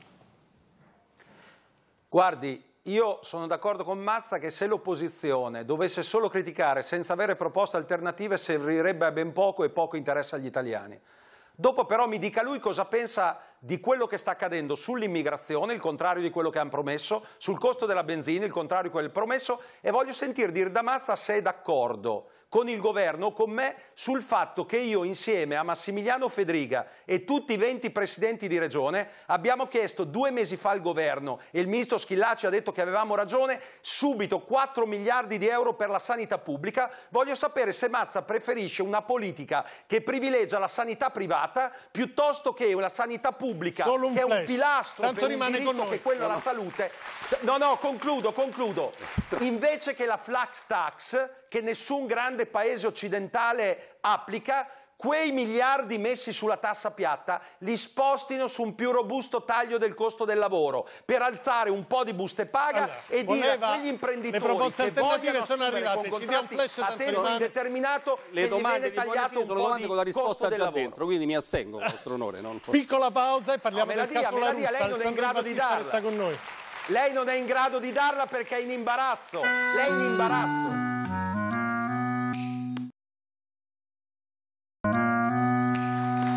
Allora, a proposito di pensiero unico, bisogna in qualche modo controllare le critiche. E benvenuto sempre con noi Alessandro Battista, sempre con noi Elisabetta Piccolotti, benvenuto Massimo Magliaro, Fondazione Almirante, sempre con noi Fabio Dragoni della Verità. Allora, succede che Report, eh, la trasmissione di Rai 3, ci spiega che Cartello 15 fa un lungo, eh, una lunga inchiesta sul nostro Presidente del Senato e la sua famiglia e tira fuori che il padre viene accusato da un pentito di avere rapporti con la mafia.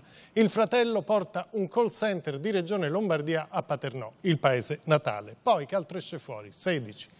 Il report sempre dice che il call center del cognato Ignazio La Russa lavora per la regione Lombardia. Il call center fallisce e La Russa preme indirettamente per il suo salvataggio. L'avrebbe fatto comprare un imprenditore. Quello dice io, mi ha fatto vedere che c'erano degli affari da fare, mi ha fatto capire che se lo prendeva era meglio. La Russa, tra l'altro, questo è, un dato di fatto, sicuramente è socio di un imprenditore che ha rapporti con l'andrangheta, hanno insieme un'enoteca e questo doveva avere dei soldi indietro, non riesce a averli, si rivolge all'andrangheta. La russa si infuria e manda questo video a Report sono state riportate qual in qualche attività giudiziaria, dovreste vergognarvi per questa volgare fake news e per questa falsità mai ripresa da alcuno della quale risponderete in sede penale. Sappiate che sulla mia onestà posso mettere la mano sul fuoco. Su quella dei miei familiari, padre, fratelli, ne posso mettere due di mani sul fuoco, come vi possono confermare tutti, dico tutti quelli che li hanno conosciuti. E per questa ragione che su di loro non accetterò vostre illazioni per le quali ne rispondereste in sede penale. Spero che manderete per intero questa mia registrazione in risposta alle vostre domande, a tutte le domande che mi avete fatto. Allora, qual è il problema? Che c'è in mezzo anche il fratello, in qualche misura di La Russa, una persona molto oh, forte sulla regione Lombardia, e eh, fratello di Ignazio, si chiama Romano, Giorgio Mottola di Report va e gli dice ma eh, lei conosce Giovanni Catanzaro, amministratore delegato di Lombardia Informatica, è un vostro amico di famiglia e mh, mm, ha portato il call center a Paternò eh, e, sulla, e, gli fa le domande anche sul call center, sempre a Paternò, del cognato dei La Russa, Raspagliesi, lo gestiva lui e eh, Romano La Russa diciamo, esce fuori un po' al naturale nei modi e dà queste risposte. Sarebbe nel fare le domande io solitamente. A te, la domanda sì. faccio, un minimo di dignità non ce l'hai proprio. Eh, ce l'ho perché faccio no. il giornalista e sono poverato. pagato per fare domande. Sei un poveraccio. La ringrazio. Ma lei conosceva Giovanni Catanzaro? Mi risulta che è un amico di famiglia, è così? Eh, è così? Era un amico di famiglia o no? Devi andare fuori dalle scatole, su. Adesso non dobbiamo parlare di polemica. Che fa? Ma mi, mi, ruba il microfono? Sì. Ma ma guarda, ne ho un altro. È fortunato perché ne ho un altro. Facciamo con quest'altro. Questo amico, mio, quanto ti no. voglio bene, andiamo a bere, dai. No, questa volta hai sempre offerto rispondere. tu, questa volta no, offro non io. faccia andiamo. così, non mi metta la mano qui, hai per favore. Hai sempre per favore, non tu. mi metta la mano così. Io non le sto mettendo le mani addosso. nemmeno io le sto dicendo. Andiamo a, bere, andiamo a bere qualcosa, questa volta offro io. Cosa non va, Piccolotti?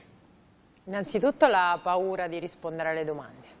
E questo non va mai bene per chi fa politica perché i cittadini, i giornalisti, sono tanti quelli che fanno le domande ai politici e i politici devono rispondere perché devono rispondere del proprio operato di fronte alla pubblica opinione.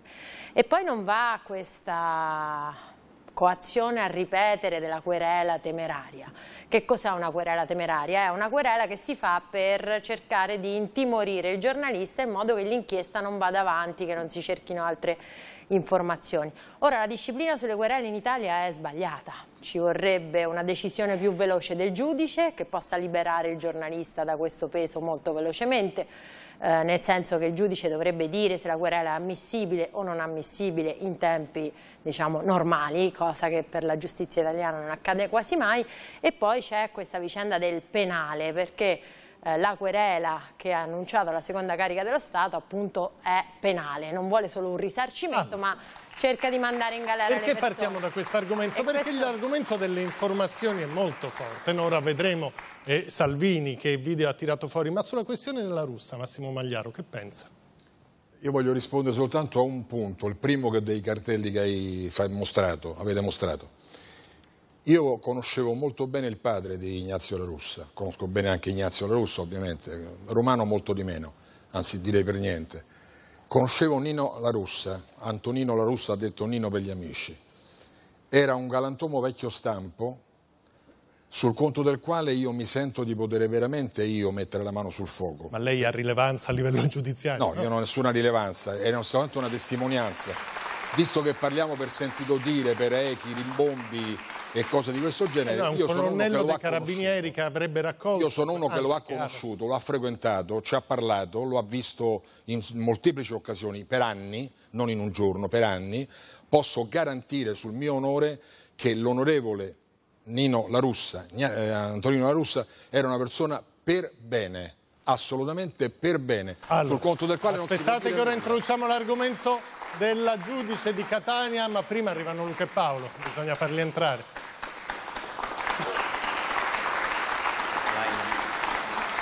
Buonasera. Vai, onorevole. No, capisco che non sia un momento semplice, ma se vuol dire qualcosa... Guardi, Saronetta, la situazione internazionale è molto grave. Sì, sì, non, non c'è dubbio. A rimarcarlo è anche questo silenzio assordante. In che senso, scusi, il silenzio? Lo sente il silenzio? Eh, sì. Eh, guardi che è assordante, eh? No, cosa si può fare per farlo passare? Perché proprio... Eh, non so, eh, so, dovrebbe provare a dire qualcosa magari. Ah, io? Eh sì, eh, dovrebbe parlare, se no c'è silenzio, se non dice cosa pensa. Ah, ecco perché c'era tutto quello silenzio Eh, assordante. capito? Eh, se- senta, allora, lo scorso weekend l'ha vista trionfante alla manifestazione di Roma, no? Ha visto che roba? Sì, sì, ho visto. Il partito ci sta ricompattando. Sì. Finalmente ci stiamo riprendendo il popolo della sinistra. Sì, sì, è vero, stiamo realizzando il sogno di Lev Trotsky, il nostro grande fondatore. No, guardi, il PD non l'ha fondato Trotsky, è stato Veltroni. Veltroni. Eh. Veltroni? Sì. Veltroni Lev? No, Veltroni Walter, proprio un altro. Sicuro? Sì, sì, direi di sì, guardi, non posso sbagliare, ma... Vabbè, eh, ma basta con le divisioni Trotsky-Veltroni. Sì. Oh. Io sono contro il correntismo. L'importante è che il PD stia ritrovando i suoi elettori. Tutti ha visto quanta gente c'era sabato al corteo? Sì, beh, eh, era un corteo della CGL, eh? Ma le ho appena detto che non voglio sentire parlare di correnti. Sì, ma non è una corrente, la CGL non è una corrente del Ah, no? PD, no. no. Oh, bene, una corrente in meno. Comunque, su una cosa ha ragione, sembra proprio che il PD stia ritrovando un feeling con gli elettori, no? Ah, eh, guardi, io di questo sono felicissima. Ecco. Significa che tutto quello che ho fatto Sì. in questi mesi come segretario del PD sta finalmente dando i suoi frutti. E cosa ha fatto in tutti questi mesi?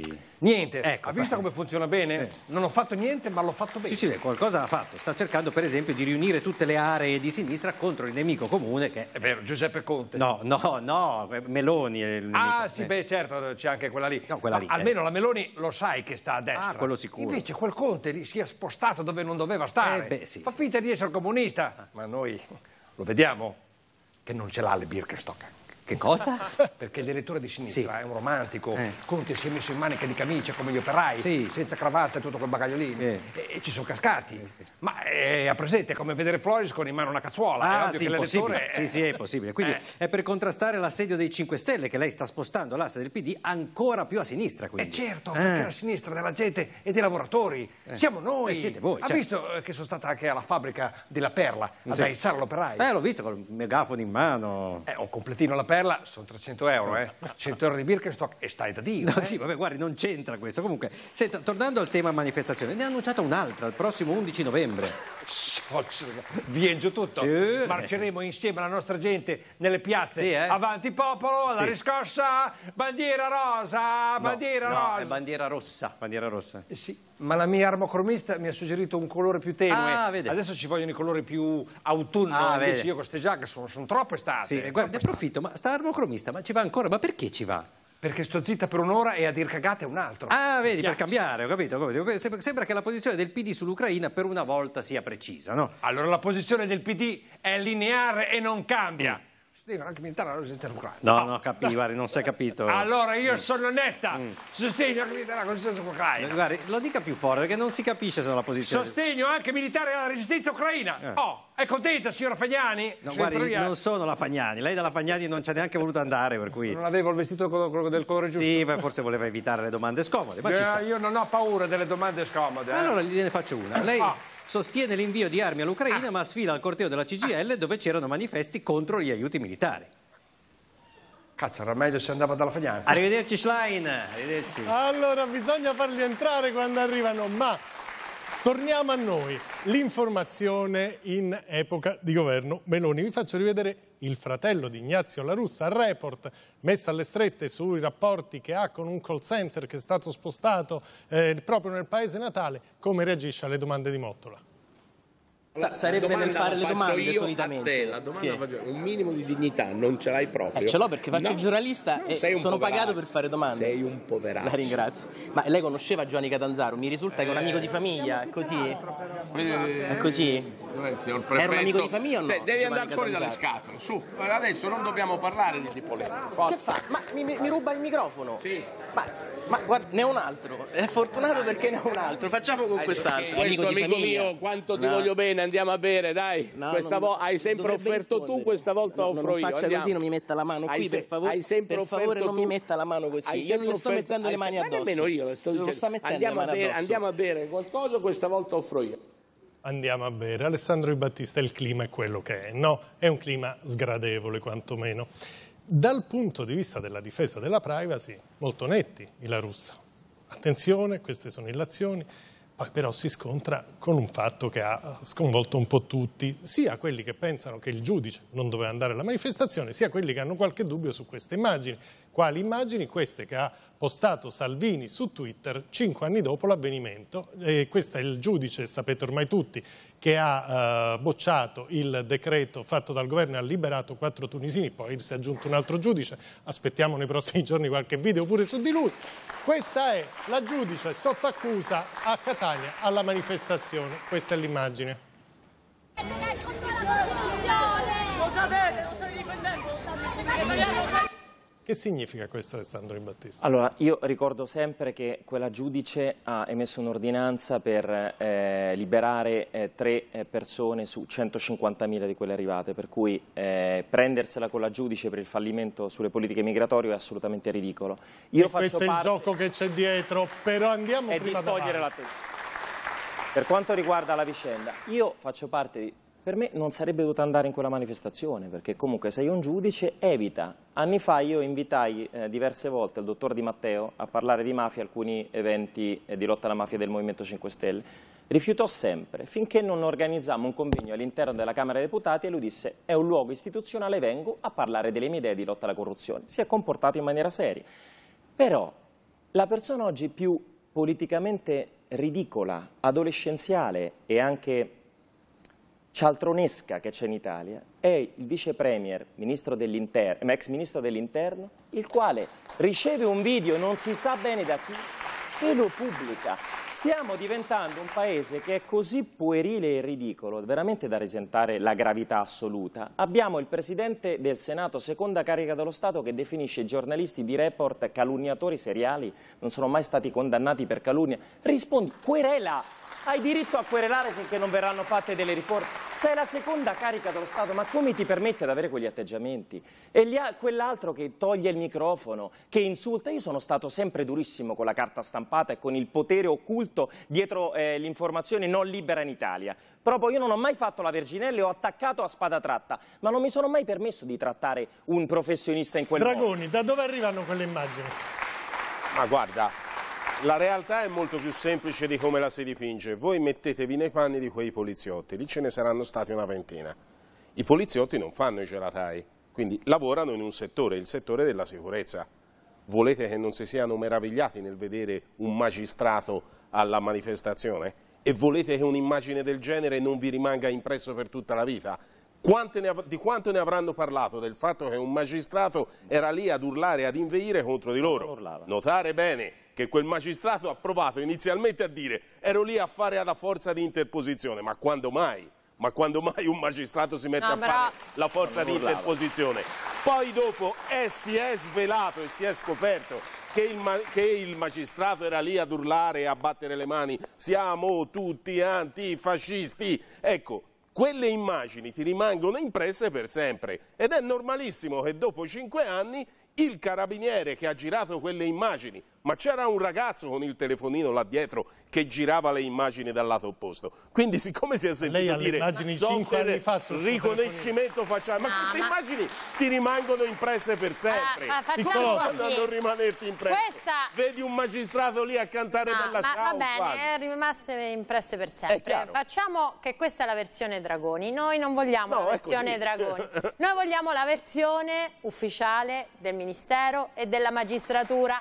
Cioè vogliamo che qualche perito prenda il telefonino in cui era custodito questo video e ci spieghi da dove viene, chi l'ha girato, chi l'ha girato I e chi l'ha di- mandato a di Open. Salvini. Siccome c'è un certo nervosismo quando facciamo questa domanda, c'è un certo nervosismo, fior fior di dichiarazioni, eh, nervosismo sulle interrogazioni, sugli esposti che abbiamo fatto. Noi vogliamo una risposta ufficiale. Ma cosa si sospetta? Di Battista, se ci sono dei sospetti tiriamoli fuori. Si sospetta un dossieraggio, una cantina dei segreti. io- Ricordate il caso Ipio Ponte? Sì, io francamente non lo so, però questo è il paese dove i servizi segreti in- si infiltravano all'interno dei- anche dei militanti di estrema destra e lo sa il dottor Magliaro. È il paese in cui si sospettano infiltrazioni di servizi segreti addirittura de- all'interno delle, BR durante il rapimento Moro. È il paese in cui i servizi segreti sono immischiati o parte nei delitti di mafia perché i mandanti esterni occulti e, e incredibili dei delitti Falcone e Borsellino sappiamo che probabilmente sono pezzi dello Stato.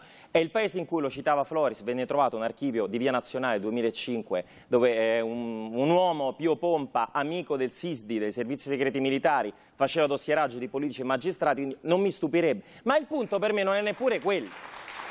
Io vi, vi domando, è serio? Cioè siamo un paese serio se il vice premier o il presidente del Consiglio giustamente dovrebbero impugnare la- l'ordinanza del giudice, giustamente se ritengono che sia sbagliata, e dovrebbero arrivare in Cassazione e si dovrebbe sbagliare. parlare. Non che il vice premier pubblica un video su Facebook, non è un social media manager, è il vice premier della Repubblica Italiana. Che ci dice questo, RVM 106 È arriva penoso. Magliaro. Allora, vorrei dire... Aspetti, faccio vedere Ah, cosa ha vabbè, detto sì. Prego, Salvini proprio su questo argomento. 106. Sì, su 9.000 magistrati due la pensano così. È una buona percentuale. Evidentemente in qualche tribunale c'è qualche problema e in qualche redazione di giornale c'è qualche problema. Tutto qua. Andiamo a risolvere, Magliaro. Allora, eh, dopo tutto questo polverone, chi è stato, chi non è stato, eccetera, mi rifaccio a quello che ha detto nella sua omelia di inizio trasmissione Augias, una volta tanto condivido quello che ha detto, il giudice non doveva andare alla manifestazione. Punto, finito. Il discorso finisce No, non qui, non chi l'ha ripresa, chi non l'ha ripresa. Questo è tutto una, una canizza che viene alzata per evitare di dire No, il problema qual è. finito. Un giudice non, è in- non deve andare nelle manifestazioni di partito. Tant'è che Giorgia Meloni dice ma come fate a parlare di dossier? Aspetti Piccolotti, guardi cosa Sono dice. Giorgia Meloni. Come fate a parlare di dossier? Tutta la polemica che sto vedendo sul video, il dossieraggio, eh, se partecipi a una manifestazione pubblica, lo rivendichi, cioè dossieraggio di solito si fa, è un'attività occulta che si fa per tirare fuori delle cose che non si sanno. Se uno sta in una manifestazione eh, proprio col proprio volto in prima fila dietro uno striscione, che dossieraggio è? Piccolotti. Allora, la prima cosa è che la sentenza ha delle ragioni fondate e motivate, l'ha detto Augias e lei dovrebbe essere d'accordo, tanto più che ci sono altri due giudici che hanno fatto la stessa ten- sentenza, segno che se discutessimo nel merito... Eh. eh, scopriremmo che il governo ha scritto delle norme inapplicabili e che violano la Costituzione. Giustizia? Siccome, Vogliamo non si è- siccome il governo non è voluto stare nel merito, ha cercato di demolire la figura della giudice che aveva fatto la sentenza. Non riesco a demolire la sentenza, demolisco la giudice che non è andata a una manifestazione di partito, l'unico giudice che si è vista a una manifestazione di partito era quello che stava alle manifestazioni di Forza Italia e che giudicava i fratelli di uno dei, dei deputati di Forza Italia. Memoria corta, eh. Sì, no, memoria lei corta. memoria no, no, ho riletto pure il caso prima di venire qui, quindi sto dicendo una cosa giusta. Lei non stava a una Avrebbe dovuto ricordare, per esempio, che. Borsellino andava alle manifestazioni dell'MSI, andata dei giovani dell'MSI quando anche, era magistrato. esatto, Eh, anche. capito? Ma stava Quindi- al posto suo però. Che vuol dire a posto suo? Era molto corretto nei confronti delle istituzioni, non ha mai fatto discorsi di parte, mai. Perché la giudice ha fatto discorsi di parte? È andata al porto. Sto parlando di Borsellino, non di questa. Ah, ecco. Ma- la signora No, non si capisce perché alcuni possono andare e altri non possono andare. Non ho capito quale Ma non stava facendo un comizio Non ho davanti alla polizia, una manifestazione, gli applausi. Ma non ha fatto un comizio, non c'è nessun comizio della giudice. La giudice è andata al porto e c'era una manifestazione dei movimenti di antirazzisti di, è Catania con le Lei associazioni stava a una cattoliche. manifestazione, è una cosa diversa. Vabbè, ove Ma non vuol dire siamo nulla. tutti antifascisti non Ma non avrebbe vuol dire neanche nulla, detto ma che qualcosa vuol di, dire? di così una capito. Un conto è un convegno di partito, un conto è una manifestazione umanitaria che chiede Umanitaria. semplicemente che dei profughi vengano fatti scendere da una nave. C'erano i cattolici, c'erano l'associazione di volontariato, c'era un mondo... che era quindi naturale che emettesse una sentenza viziata, dai. Oh, è- Non è- è sviziata così tanto che altri è così giudici la pensano semplice, esattamente allo elementare. stesso Allora, però aspettate, perché è il momento manifestazione di togliere il piazza. velo. È una manifestazione di piazza dove un giudice non deve andare. Quindi ai convegni di partito bisogna immagine. andare Allora, a manifestare in piazza Eh, Alessandro Di Battista, togliamo il velo da quello che stavamo dicendo. Dunque, c'è stato un grande... ehm, un- si sono riuniti in Europa, no? proprio sui migranti. E è successo che, cartello 11, cosa è successo? Si sono incontrati tutti i grandi e è uscito fuori il Consiglio europeo. Allora, eh, vi ricordate tutta la questione? Non bisogna citare l'ONG, bisogna non parlarne, non metterle tra quelli che possono intervenire. E cosa hanno fatto i furbi europei? L'hanno spostato nel preambolo.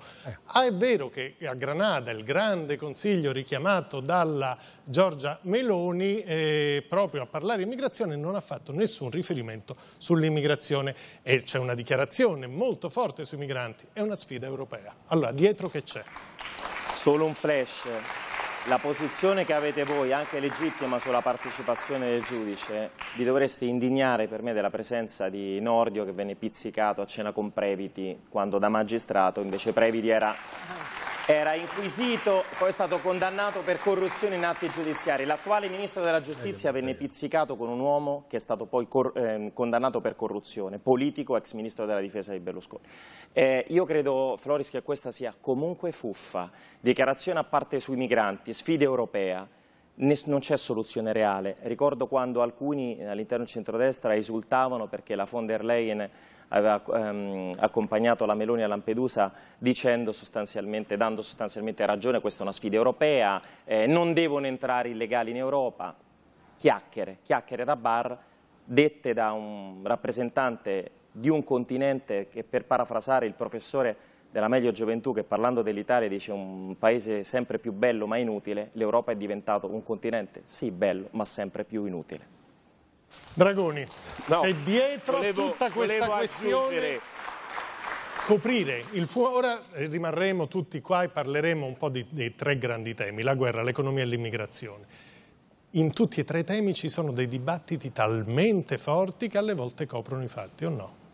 È vero, fammi, fammi aggiungere una cosa, è facile essere pizzicati con persone condannate, anche Giovanni Floris potremmo dire è stato pizzicato con il giudice Davigo che è stato condannato. Non mi avete pizzicato, l'ho invitato in questo- televisione. detto questo, sul tema, no, detto questo, sul tema, sul tema, sul tema Davigo, ma mi hai offerto un bicchiere Eh, ho capito, qualcosa? è chiaro, ma, ma- Aspetti ma che ne parliamo dopo la cioè- pubblicità. Cioè, è facile essere condannati in Italia, è molto facile essere condannati. Capitato. Aspettiamo a Non è criminalizzare neanche obbligatorio, però, va detto. Cioè, Piccola pausa. dire, se è stato, E parliamo se è di stato tutto condannato questo, anche pausa. Davigo.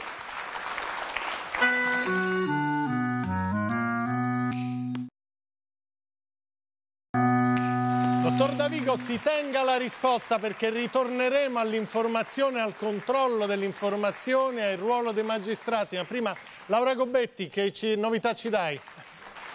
Sì, che alla televisione israeliana è stata mostrata la, la telefonata di Netanyahu a Biden. Netanyahu ha detto al presidente americano una ferocia così non si vedeva dai tempi dell'olocausto. Invece per quanto riguarda l'incontro per un ipotetico eh, governo di unità nazionale è stato rinviato a domani.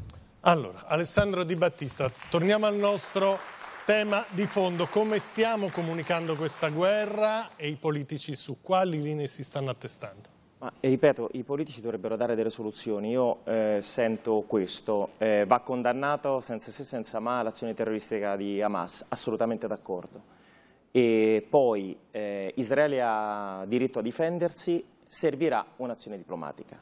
Fermo restando che sulla condanna penso siamo tutti d'accordo. Israele ha diritto a difendersi. Mi potete elencare quali sono i diritti dei palestinesi per sapere? I palestinesi hanno diritto ad un paese loro, sovrano? Non ce l'hanno. Hanno diritto ad utilizzare una moneta loro? Non ce l'hanno. Hanno diritto a uscire da Gaza? Non ce l'hanno. Hanno diritto a non vedere occupate le loro terre in Cisgiordania, territori che si chiamano territori occupati dove lì l'aggressore è l'esercito israeliano che dovrebbe starci lì. Non ce l'hanno. Un attimo, un attimo. Hanno diritto ad essere riconosciuti a livello internazionale? Sì, non ce l'hanno. Hanno diritto a vedere rispettate decine di risoluzioni votate dal Consiglio di sicurezza delle Nazioni Unite?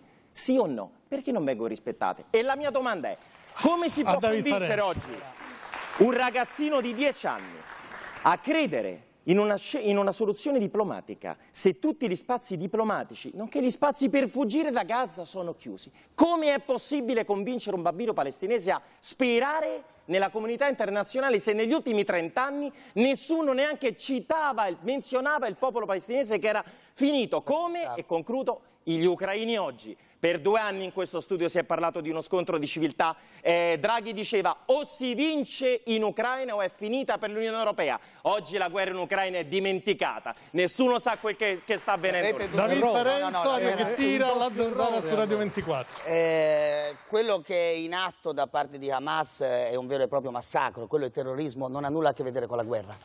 La guerra, guarda, la guerra purtroppo la vediamo, la conosciamo, è quella che si combatte drammaticamente tra due eserciti che ha poi delle ripercussioni sulla popolazione civile. Ma qui ci troviamo di fronte, le notizie di oggi devono cambiare anche la nostra prospettiva del racconto della guerra, me lo dico per primo io stesso. 40, 40 bambini uccisi, i civili, le persone che sono state massacrate nelle loro case, i civili, 200 civili presi come ostaggio. Allora se tu oggi vuoi discutere, ed è giusto, lo possiamo fare, due popoli, due democrazie, due stati, lo abbiamo e lo hanno sempre detto. Il primo problema dei palestinesi da 40 anni a questa parte, da 30 anni a questa parte si chiama Hamas. A Gaza a Gaza io non ho mai visto una sola manifestazione di palestinesi contro il proprio regime. Ho visto invece a Tel Aviv e a Gerusalemme la società civile protestare contro Bibi Netanyahu, anche pezzi dell'esercito. La differenza tra la democrazia, lo Stato di diritto e quello che accade lì, e su questo non avete Quindi, detto nulla. Io non ti ho mai visto, la razio Quindi... è che io quando facevi il politico non ti ho mai visto dire esiste un problema di libertà, di diritto e di democrazia Quindi... in, in, Ora che l'hai detto, di Gaza. Tu hai fatto Quindi... il politico, oggi fai il giornalista, Quindi... scrivi su un giornale dove un autorevole professore di cui non voglio neanche fare il nome perché mi ha Parla querelato, stai parlando con me. può aggiungere nel Parla tuo giornale, è, è stato giornale. un paragone, te lo voglio leggere, sì. in cui si dice che Netanyahu è un terrorista come Hamas. Per me Netanyahu è un. Allora, que... Netanyahu ha mille limiti, ma è un leader democraticamente eletto che sta difendendo allora, il suo popolo. Replica Quindi di Battista. Poi... terrorista contro sì. terrorista, vi dovete solo vergognare. Che Parenzo, vergognare. Che Parenzo che fa l'opinionista non abbia no, no, io faccio ipotizzato alcun... Io faccio non era giornalista e non devo giornalista, non era un Conosco insulto. molto bene la situazione Non era un insulto, abbia presentato la sua visione delle cose senza soluzioni, non mi scandalizza. Ma io non devo... Io, io, io Aspettate, uno per volta. Il tema è che si stava discutendo sui ragionamenti politici e, dei, e i, i, doveri di un politico e dell'Unione Europea, che è del tutto assente. L'Unione Europea se la sta detto. cavando mettendo le bandiere di Israele su Palazzo Chigi, sulla porta di Brandeburgo. Quelle come ha messo le bandiere dell'Ucraina portando Comora. avanti. Fatemi corrispondere anche perché è in minoranza, ma non è che mi spaventa. No, non creda, Eh, ora non ho presentato tutti Senza eh, portare delle soluzioni. Dopo due anni sentiamo la Santa Sede, parlo della guerra in Ucraina, o parliamo, sentiamo addirittura Romano Prodi parlare appunto dell'assenza Allora, di diplomazia. qual è il punto? Io dico questo, Giovanni, Sì. che per vent'anni coloro che si sono scagliati contro la guerra in Afghanistan sono stati eh, tacciati di filo talebanismo. Siete a favore della Sharia, contro i diritti delle donne. Poi con i talebani ci è sceso a patti l'Occidente. Oggi il giochetto è quello. Ah, eh, non parlate oggi, non condannate, tra l'altro l'ho condannato, dunque siete filo Hamas o antisemiti, stronzate. Io a questo giochetto proprio non ci gioco e dico che è inutile Però- portare avanti un discorso se non si accettano i diritti di un intero popolo che per chiaro. me è il popolo più Eh, vessato Allora, e dimenticato della storia aspettate dell'umanità, un quello passo palestinese. alla volta. Eliana Como, che ne pensa? Arriviamo a tutti. No, Che ne pensa? Allora, intanto penso che ho qualche difficoltà a stare in uno studio televisivo a parlare di questa situazione come se fosse il tifo tra due non è. squadre di No, calcio. ma Io avrei voluto che la bandiera sui palazzi delle nostre istituzioni fosse stata la bandiera della pace, perché penso che le istituzioni e la comunità internazionale debbano lavorare per la pace, non a buttare benzina sul fuoco e a fermare l'assedio che in questo momento sta subendo la città di Gaza, perché quella è una popolazione che viene bombardata in queste ore. Non stiamo parlando di un esercito, stiamo parlando di donne, bambini che sono tra l'altro da vent'anni, che vivono vessazioni, umiliazioni, un regime di apartheid che non si può far finta di non vedere. Se vogliamo evitare Aspettate, di calmi, uno per volta, non parlate tutti, ora toccherà a Giubilei. Giubilei. No, mi colpisce di non aver sentito nemmeno una parola La presento, è il presidente della Fondazione Tattarella, prego. Sì, però qua c'è un problema. Noi possiamo discutere, lo si sta facendo da tanti anni, della questione mh, tra Israele e la Palestina, della differenza tra il popolo ebraico e il, il popolo palestinese e quant'altro. Però quello che stiamo commentando in queste ore non è uno scontro che va avanti ormai da, da decenni tra due diverse visioni del mondo e tra due diverse nazioni. Stiamo parlando di un atto terroristico. Se noi non partiamo da questo presupposto, tutta la discussione che consegue eh, conseguentemente non, non ha ragione d'essere. Noi dobbiamo mettere in modo ben chiaro che ci sono state mille persone uccise. Però questo, civili. diciamo, l'hanno riconosciuto Ma questo non è, sta- non è stato che- riconosciuto da tutto, perché figure come Patrick Zacchi, ne cito una su tutte, ah, fa il Vabbè, tweet, però qua fa il c'ha Di tweet- Battista no, e però- Eliana Como. A loro fa il dice? tweet lui in, dice- cui, in cui accusa Netanyahu, che è un leader democraticamente eletto, che può piacere o può non piacere, di essere un serial killer e non spende una parola invece nei confronti dei crimini. Andiamo sulla teoria, allora la professoressa insegna filosofia teoretica, dicono, guardate che qua c'è una confusione di qualità. Da una parte abbiamo uno Stato che avrà mille difetti, avrà delle politiche Certo. sbagliate, però è uno Stato democratico, democraticamente eletto, che è stato attaccato da dei terroristi e non dai rappresentanti del popolo palestinese. Dice Giubilei, quindi cioè, fermiamoci su questo. Dice Di Battista, perché ci dobbiamo fermare su questo? Vediamo da dove nasce questo per risolvere.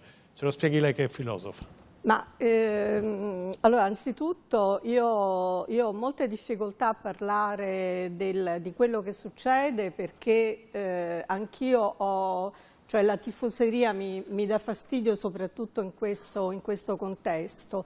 E vorrei dire anche che non c'entra niente con la guerra d'Ucraina questo conflitto, nulla. I paragoni che ho sentito anche questa sera, anche alla lontana, sono grotteschi. Detto questo, eh, detto questo eh, allora eh, la mia posizione è questa. Israele è un grande paese, è un grande paese da tutti i punti di vista, è una grandissima democrazia. Non fate, lo dico anche ai telespettatori che ci seguono, non fate l'errore di identificare Israele con Netanyahu. Netanyahu è un politico, un politico corrotto, un politico che ha fatto eh, di questa estrema destra e dovrebbe farci riflettere oggi in Italia che ha fatto soprattutto in questi ultimi anni tantissimi errori. Israele è stata una metà e più di Israele era in piazza a protestare contro la riforma e la giustizia. Detto questo, e io non sono d'accordo per niente e penso che anche a sinistra ci siano dei grandi problemi, la parola apartheid è vergognosa. Vergognosa. No, è vergognosa. Cioè, non ho capito, si può usare o non si può usare No, nei non confronti si dei può palestinesi? usare, non si può usare, allora usatela anche per l'Italia. Perché anche, no, International anche però, eh. l'Italia, allora, anche l'Italia eh, usa l'apartheid con i migranti. Allora non è questo. Questo secondo me, scusi, questo secondo me è un grande odio, è un grande, è un grande, è un grande odio nei confronti del popolo ebraico. Esatto. Va bene? Usare la parola apartheid. Detto questo, detto questo e distinguiamo Arriviamo, cosa che lei non ha fatto tra arriviamo popolo ebraico e israeliani. Il popolo ebraico è anche nella diaspora. Detto questo, eh, secondo me quello che ci ha fatto vedere oggi, in questi giorni terribili è un Israele diversa, no- un Israele vulnerabile, fragile, cosa che Israele è, perché Israele è vulnerabile Allora, dobbiamo e avere coraggio, faccia- Arrivi al arrivo, arrivo al dunque. Detto questo, detto questo, Azzurro. io spero assolutamente che non ci sia un attacco da terra, spero che il gabinetto di guerra nel frattempo C'è già, sia... è già mi faccia, mi faccia c'è finire. già. No, non c'è già, non c'è già. E che vengano rispettati, Israele porta un grande nome, ha una grande responsabilità, una responsabilità in più e deve assolutamente rispettare i diritti del popolo palestinese. Professoressa, La questione. No, scusi, dello scusi. Stato è superata, non es- è uno slogan. Se poi avrò la possibilità di intervenire, lo farò. I due Stati non sono possibili, bisogna andare verso nuove forme politiche, questo è il punto. Non è Allora, possibile... però io Stefano Zurlo, ci arriviamo. Vorrei andare... Vorrei togliere però, scusate, un po' di retorica dal discorso, perché qui stiamo dicendo... Io non ho fatto Ma nessuna retorica, dicendo- ho fatto un'analisi, una ho fatto di un'analisi maniera- scusi. anche personale. Però, professoressa, fatto- faccia parlare Zurlo, No, ma prego. in 30 secondi voglio dire, qui si sta dicendo in un certo modo, Israele deve stare con le mani legate. E Israele No, questo io non ho detto questo si nel sta modo dicendo- più assoluto. Penso si No, rivolga no, no, a Di Battista, professoressa. Nel Scusi. Penso si stia non rivolgendo- metta per comodo delle parole che ho ma mi detto faccia parlare, esattamente il contrario. Riprende lezione Di fra detto il 15 contrario. secondi. Perché gli 15 fa comodo, perché gli fa comodo, non perché è troppo comoda quella posizione. A me non fa comodo assolutamente Non date Israele alla destra, questo Posso, parlare 8 secondi? Non Può identificate parlare Stefano con Zurlo, la destra. abbassiamo tutto lo studio Allora, che credo facesse dire- riferimento tra l'altro alle tesi di Battista. No, perché io voglio rispondere alla questione che lui ha posto dicendo, uno, Hamas ha fatto sprofondare ulteriormente la causa palestinese di 20, 30, 40 anni, perché Hamas è nemico del popolo palestinese. Ora diventa inestricabile in questo momento dividere le due questioni. Forse bisogna liberarsi di Hamas per poi riscoprire la causa palestinese. Ci siamo liberati dai nazisti, ma non è che tutti i tedeschi erano nazisti, giusto? Questo è un problema politico, ma è anche in questo momento un problema militare, inutile girarci intorno. Dopodiché io sono per i corridoi umanitari, per il rispetto, per i bambini, per tutto. Mi domando come si farà adesso a Gaza a dire ok, eh, qui sì, qui no. Sarà Allora. probabilmente una situazione ingovernabile. Guardate quanti, Ma questa è la realtà di cui dobbiamo quanti parlare palestinesi rappresenta Hamas. Guardate, abbiamo oh, delle fonti, naturalmente è impossibile avere dei dati certi, non stiamo facendo matematica, però abbiamo questi dati nel cartello che un giorno uscirà ed è un sondaggio del 2023. Il 56% dei palestinesi oggi li voterebbe uno su due. Chi rappresenta il governo di Netanyahu? Guardate, eh, da chi è formato, ora naturalmente sarà un governo di, ehm, di unità nazionale più ampio, abbiamo la destra liberale, i conservatori ebraici ultraortodossi, i conservatori ebraici ultraortodossi che si vedono in un altro partito e il partito sionista religioso estrema destra na- ultranazionalista, per questo si diceva e diceva la professoressa non confondete Netanyahu con gli israeliani. Di Battista la replica. Poi abbiamo Caprarica. Attenzione perché poi abbiamo la politica e l'informazione. Io vorrei soltanto dire che io sono d'accordo con lui rispetto al problema Hamas e isolare i terroristi. Il problema è il seguente. Quando ci fu l'operazione Piombo Fuso, dove entrarono a Gaza truppe di terra, massacrando anche civili, gli obiettivi del governo israeliano furono essenzialmente due. Neutralizzare Hamas una volta per tutte e mettere in sicurezza i confini di Gaza e Stato israeliano. Hamas non è stata neutralizzata, anzi si è rafforzata. E i confini intorno alla striscia di Gaza si sono, sono diventati ancora più pericolosi. Io quello che sostengo dai tempi della risposta alle torri gemelle, eh, com- compresa la guerra in Afghanistan, la guerra in Libia la guerra in Iraq, è che il terrorismo islamico, l'unico modo per affrontarlo è togliergli benzina. Ogni bomba produce nuovi terroristi. Caprarica, Io e l'ho poi qua- sì, siccome ha detto benzina, vi però, faccio vedere un aspetto molto semplice. è una- è un Antonio Caprarica, del vuoto di potere causato all'interno dell'Iraq. Allora, siamo d'accordo che occorra togliere la benzina, ma qui adesso stiamo sul pezzo. Certo. Il pezzo è che Israele ha diritto a difendersi. Radere al suolo gas? No. Non sto, No. eh no, però Questo stanno un attimo, fatemi parlare. e no- Allora, noi stiamo parlando di una situazione, avete citato poc'anzi Germania, Hitler, nazismo. Allora, noi abbiamo una situazione drammatica nel campo palestinese, perché purtroppo quei dati sono spaventosi. Nascono da dove nascono, e lo sappiamo tutto, dalla discriminazione, dal fatto, dalla mancanza di diritti, ma il risultato è che oggi purtroppo il campo palestinese è avvelenato da questa organizzazione che, come tutti sappiamo, è anche parzialmente prodotto, un prodotto del demonio dei servizi segreti parzialmente israeliani. Però noi abbiamo a che fare Perché con un fenomeno nasce, che diciamo, in, in una chiave di lettura nasce per indebolire Arafat Evidente, ma il punto è che oggi abbiamo di fronte un fenomeno che a un tempo terroristico e di massa. Cioè il rischio vero è che se non affrontiamo Hamas oggi sul terreno facendola finita, dico affrontiamo non solo come Stato di Israele, come campo occidentale delle democrazie, corriamo il rischio di trovarci in Medio Oriente un focolaio spaventoso, animato dall'Iran e che ha la legna da ardere dell'irredentismo palestinese. Maurizio Bisogna Mannoni. spazzare via Hamas. Attenzione, aspettate, Con i mezzi abbassiamo bellici- con i mezzi tutto. bellici, Qual è? Abbassiamo lo studio, veniamo su di me. Qual è il problema Maurizio Mannoni? Ora vedremo anche Matteo Ricci, vedremo tutti quanti problemi intanto la comunità internazionale deve affrontare.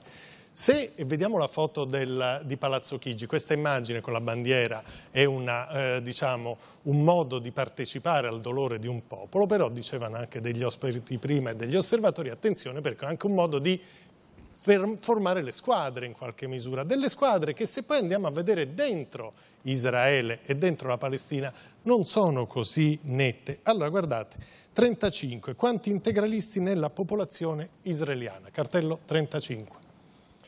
Dobbiamo un po' accelerare questi cartelli. Allora ci sono i partiti ultradossi e di estrema destra, hanno registrato complessivamente il 26% alle ultime elezioni. Guardate da quanto tempo Hamas non indice elezioni a Gaza, 36. L'ultimo voto è nel 2006. 37. Quanti integralisti ci sono nella popolazione palestinese? Abbiamo visto uno su due. E eh, guardate la notizia più scioccante, la stampa israeliana come affronta questo periodo, cartello 38, con delle frasi che potrebbero sembrare in qualche misura qua, dette in uno studio di qualcuno che non ama Israele. Netanyahu non è riuscito a soddisfare i più elementari bisogni di sicurezza degli israeliani. Allora, Maurizio Mannoni, quanto è il rischio che ci schieriamo su squadre che ci impediscano di risolvere il problema? Eh, Il rischio, come sempre, nel nostro Paese è enorme, lo sai benissimo. Del resto anche questo interessante dibattito che stiamo portando avanti già lo fa capire, no? il modo con cui affrontiamo l'argomento ci dà l'idea che subito ci si schiera in eh, squadre eh, contrapposte, mentre eh, diciamo, qualcuno ha detto che la, la guerra in Ucraina è stata dimenticata dopo due anni, quella medio orientale l'abbiamo dimenticata da 80 anni, cioè, no? Eh, quindi diciamo da questo punto di vista le nostre colpe, dico nostre per dire l'Occidente, la comunità internazionale, le nostre colpe sono da questo punto di vista eh, enormi, quindi adesso abbiamo anche un po' la coda di paglia nell'affrontare questi argomenti. Ma insomma, eh, Di Battista prima ha fatto un elenco preciso, condivisibile, condivido punto per punto le domande che ha fatto no? sui diritti negati al popolo palestinese, non da oggi. Ecco, ricord- nessuno però ha saputo rispondergli o ha voluto rispondergli, no? Perché non si può rispondere, perché sono tutte do- domande che contengono... Parenzo. contengono- No, no, no, no, aspetta, Aspettate perché per Ricci ci porta per sulla dire solo politica. questo. Maurizio, se vuoi se noi non ci poniamo...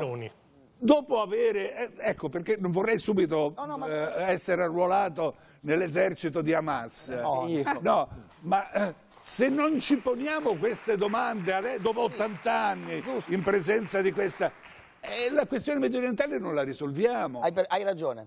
Lì c'è, dal mio punto di vista, da quel che conosco il Medio Oriente in 40 secondi, c'è un enorme problema di leadership nel mondo palestinese e lo scopriamo adesso. Da una parte abbiamo la Cisgiordania che diciamo sono gli eredi dell'ex OLP, quello che abbiamo dove eh, non si conosciuto. vota perché vincerebbe Hamas. Dove non si vota perché vincerebbe Hamas. E c'è Eh, vabbè, un signore molto un problema. anziano, Però il, il 56 mi ha sorpreso, eh, c'è un pensavo molto molto anziano di 85 Pensavo molto anni di più, che quindi si chiama si Abu Mazen. Abu Mazen che è 88 lì e che prova a governare questo pezzo di territorio.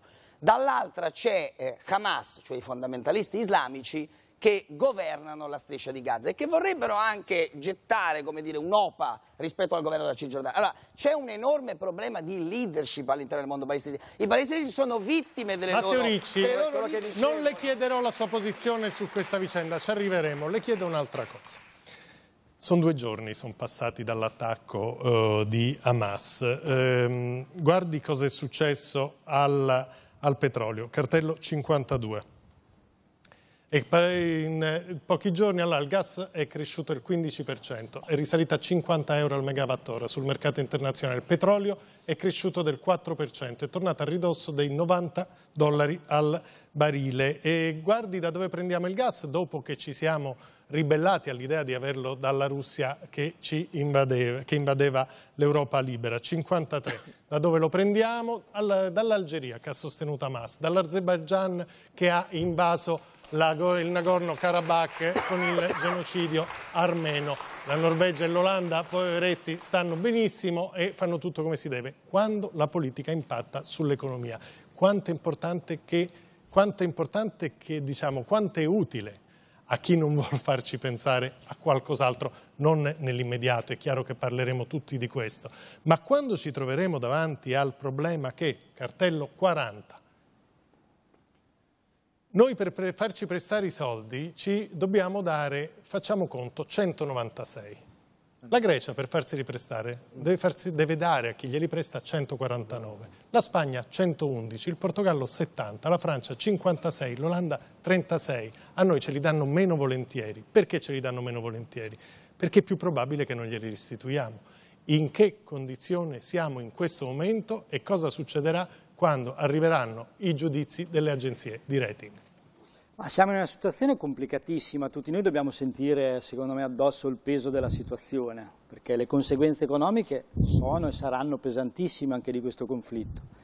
In più dal punto di vista geopolitico è vero che la guerra tra Russia e Ucraina non c'entra nulla con la guerra in Medio Oriente, ma è uno scenario di guerra che si rafforza intorno all'Europa e quindi è evidente che un'escalation militare su questi due conflitti può portare degli scenari drammatici nei prossimi mesi, quindi anche per questo dobbiamo evitare di fare i tifosi, perché qui non c'è da fare i tifosi, c'è da essere preoccupati e da capire come davvero l'Europa può diventare anche un soggetto internazionale vero, con una politica estera e un, es e un, esercito europeo, cosa che, ancora, cosa che ancora non abbiamo. A Teorici mi dica se la tranquillizza avere, affrontare i problemi dello spread e del rating un uh, governo che la pensa così. Guardate Giorgia Meloni e Matteo Salvini sullo spread poco tempo fa.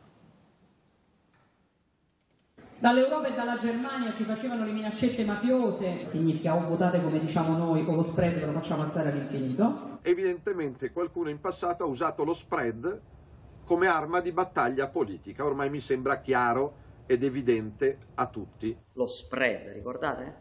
Lo spread negli ultimi anni è stato considerato il grande metro di giudizio per valutare lo stato dell'economia italiana. Vogliamo stare a questo parametro di altri? Perfetto. Negli ultimi 100 giorni lo spread è sceso da 236 a 175 punti base. Cioè meno di quanto è salito negli ultimi anni. Quindi è importante lo spread. Quindi, è, come, dire, come capita su molte cose, dice l'esatto opposto di quello che diceva quando era all'opposizione. Quindi non è la prima volta che... Nell'ultima era già al governo. Quest'ultima sentita era già al governo, ma era il momento in cui scendeva. Però è evidente che la fiducia nei, nei confronti del nostro Paese è importantissima. Andiamo verso una manovra di bilancio che chiederà di fare ulteriore debito. Eh, anche qui non è che fare ulteriore debito sia un tabù, ma per fare cosa? Per fare la flat tax o per dare i soldi alla sanità pubblica? Si tratta di capire qual è l'obiettivo di questa prossima legge di bilancio. Quindi è chiaro... Allora, Emanuela Bertucci, che... arriviamo a Giubilei. Emanuela Posso Bertucci. osservare che fare maggior debito è comunque una bestialità allora. per le future generazioni. Aspetti, se Giubilei, Emanuela Bertucci, avvocato ADUC. Sicuramente non è una cosa positiva. Eh, cartello 44, arriviamo anche a lei Claudia Conte. Cartello 44, cosa dice oggi il Fondo Monetario? Vi ricordate qua in questo studio c'erano Di Battista contro eh, Bocchino, se li avevate visti, e Bocchino diceva guardate che il Fondo Monetario Monetario dice che cresceremo 1 e 2, oggi ha detto 0,7 nel 2023 e nel 2024. Questo potrebbe significare che i calcoli che abbiamo fatto sono, prima ancora di presentarli in Parlamento, cioè domani mattina, già sballati di 5-6 miliardi, perché diciamo, eh, non è tanto complessa la cosa, è il rapporto tra debito e PIL e tra deficit e PIL. Cresce. Più scende eh, o più cresce l'altro, più cambiano i numeri. Allora più cresce il deficit, più è un problema, più scende il PIL, più è un problema cosa può succedere ai consumatori mentre noi affrontiamo i temi che affronteremo ora anche con il dottor Davigo sulle informazioni, sulla magistratura, in cui viviamo in maniera così passionale una battaglia su cui non possiamo incidere perché intanto Laura Gobetti ci sta spiegando che cosa succede da quelle parti. Cosa succede di pratico domani agli italiani? Succede che l'Istat ha certificato che nel mese di agosto sono calati non soltanto i volumi ma anche i valori dei consumi, che è un dato significativamente diverso rispetto a tutti quegli altri che abbiamo registrato fino ad ora nel periodo dell'inflazione. Che vuol dire? Vuol dire di fatto che la gente compra meno e, e spende anche meno e quindi il, gli italiani fondamentalmente si stanno dimostrando molto più saggi anche del loro governo, cioè si rendono conto che, che siamo in un momento di grave crisi economica, ritirano i remi in barca, risparmiano e spendono meno. Quanto all'Italia, a me viene da pensare alla figura del eh, funambolo eh, che sta camminando sulla sua fune e che però ha un bilanciere di fatto mm, bilanciato male perché da una parte ha un debito assolutamente superiore a quelle che erano le aspettative, anche sue proprie, e dall'altra parte ha delle previsioni di crescita sempre sballate. Quindi nel cercare di tenere questo equilibrio, qualsiasi refolo di vento rischia di farlo cadere ed è un po' quello che sta accadendo, cioè tutti i timori su cosa accadrà con il, il prossimo rating che, il cui giro si chiuderà a novembre, per vedere se effettivamente saremo declassati a spazzatura o riusciremo ancora a galleggiare, a tenere la testa fuori dall'acqua. E quando si è declassati a spazzatura, che cambia? Lo dicono, anzi guardi, guardi chi lo dice, ecco le agenzie di rating secondo Meloni e Salvini cosa sono. Non ci interessa il giudizio delle agenzie di rating, sono società private che agiscono per conto dei, dei, loro investitori. Di quello che ha da dire Moody's non potrebbe fregare di meno. Gli ultimi che ci hanno declassato, questi di Moody's, eh, forse bisogna ricordare a chi ci guarda che hanno patteggiato negli Stati Uniti 900 milioni di euro per aver taroccato i rating sui mutui che hanno causato la crisi del 2018, quindi che io mi debba fare spiegare come va la mia economia da quelli che mi hanno passato la malattia, proprio no. Il governo attuale, eh, i temi più importanti sono quelli che non vengono trattati dal governo.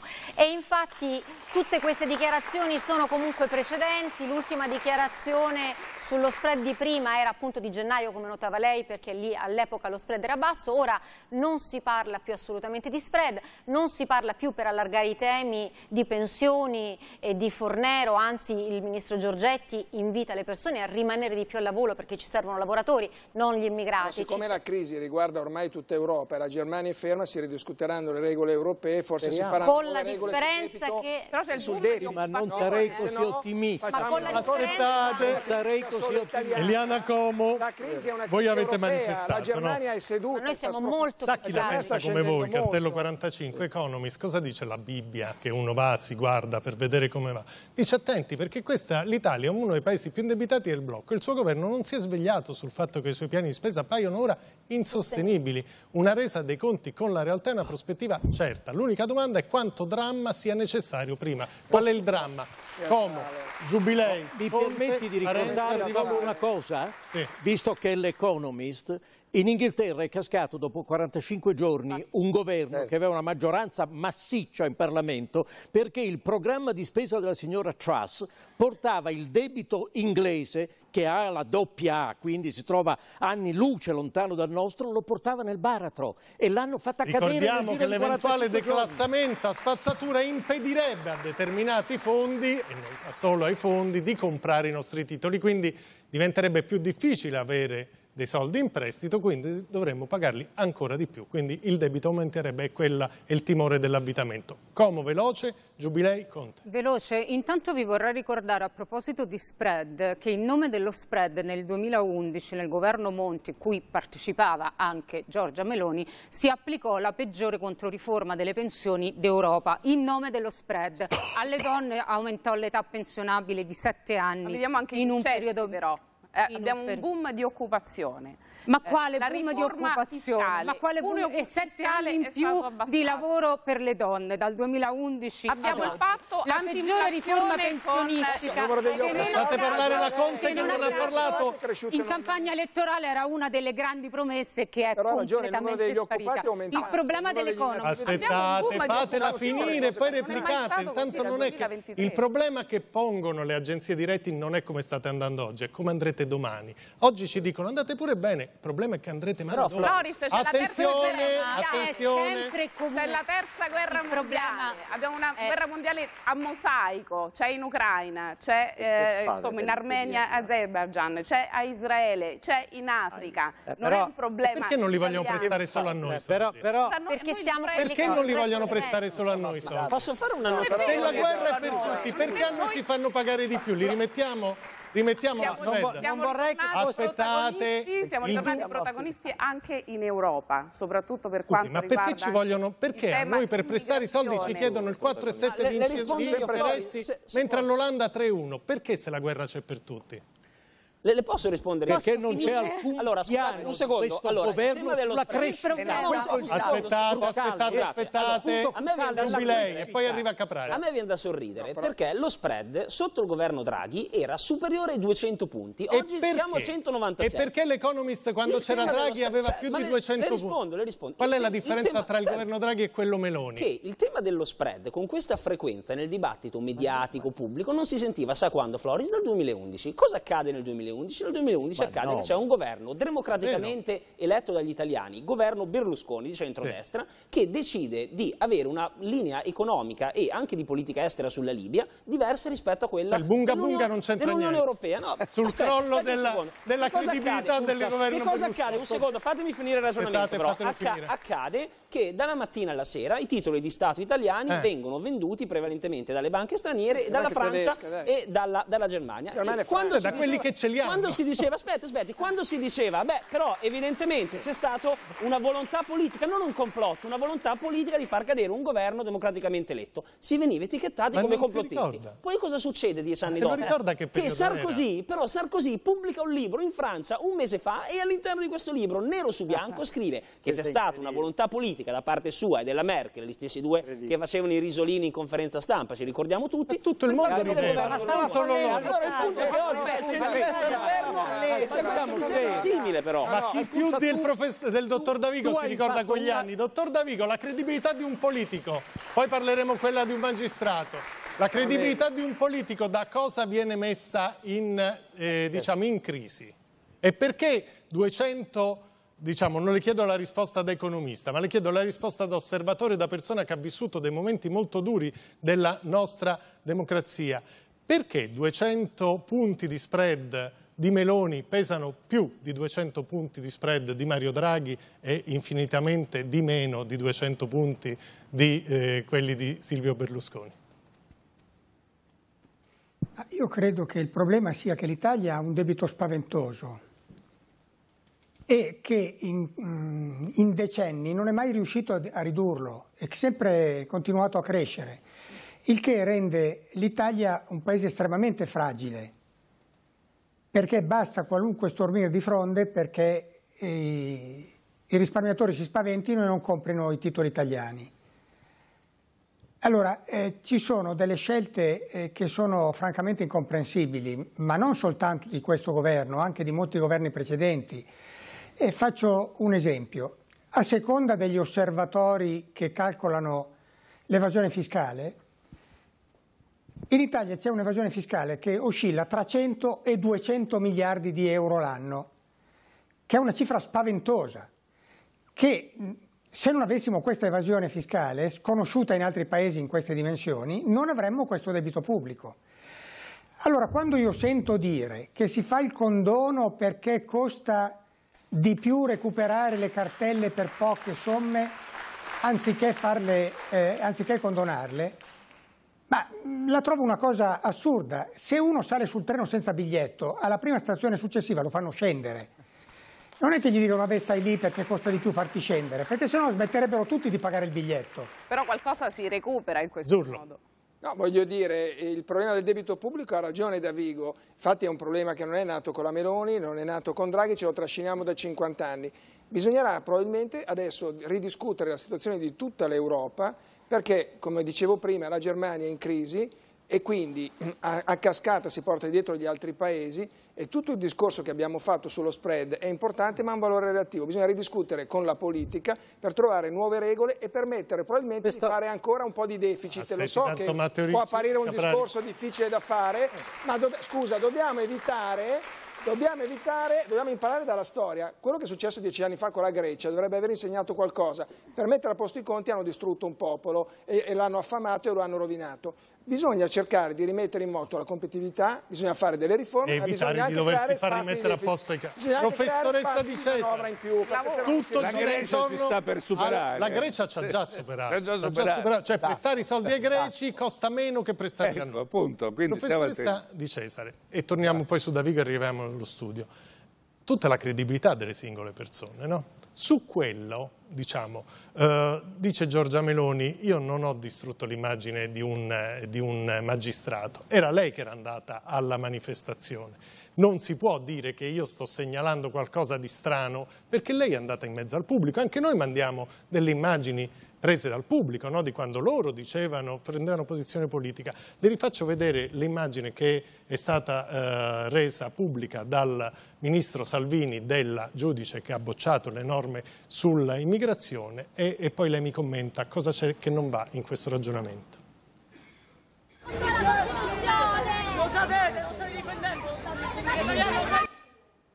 Cosa c'è che non va?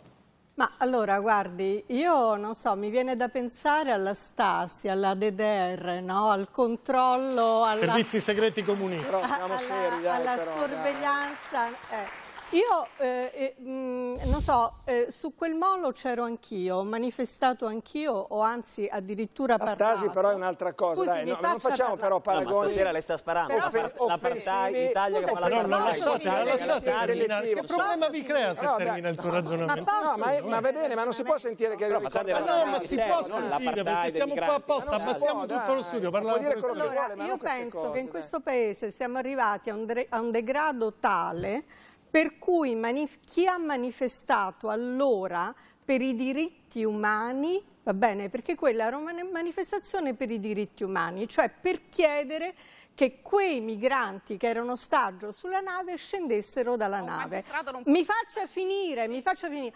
Allora, qui c'è il problema, qui c'è il problema che secondo me i magistrati sono cittadini. Io non credo nell'obiettività. Non ci credo, è una parola astratta, tutti noi abbiamo una posizione politica, come cittadine e cittadini siamo chiamati ad avere una posizione politica.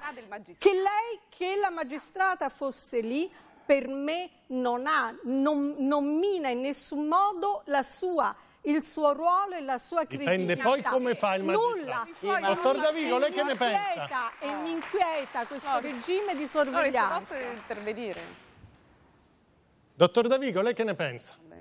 Da dove escono quelle immagini? Ah, io penso, ah, da dove escano quelle immagini non lo so e mi interessa anche poco. Eh, io penso che sia un errore gravissimo spostare l'attenzione Esatto. dalla motivazione dei provvedimenti Giusto. alle persone che hanno pronunciato il provvedimento. Allora, intanto si fa confusione tra imparzialità del magistrato e apoliticità.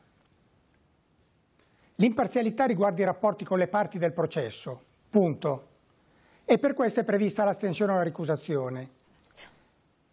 La apoliticità è assicurata da alcune norme costituzionali che prevedono il reclutamento solo mediante concorso e che consentono alla legge di limitare la partecipazione dei magistrati ai partiti politici.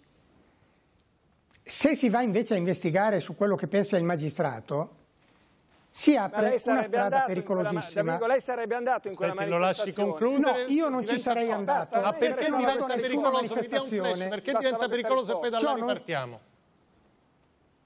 Oh, Perché Pronto? diventa pericoloso se si indaga Posso dentro parlare? la testa del magistrato?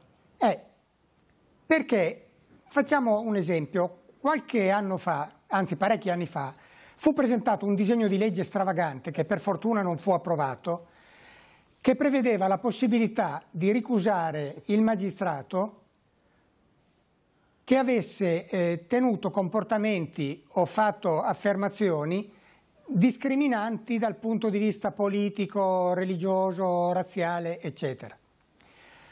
Ora, eh, se una norma di questo genere venisse approvata, visto che parliamo di migranti, quando arriva un migrante di religione islamica che dicesse io non voglio essere giudicato da un cristiano, Che cosa gli diciamo? Piccola pausa.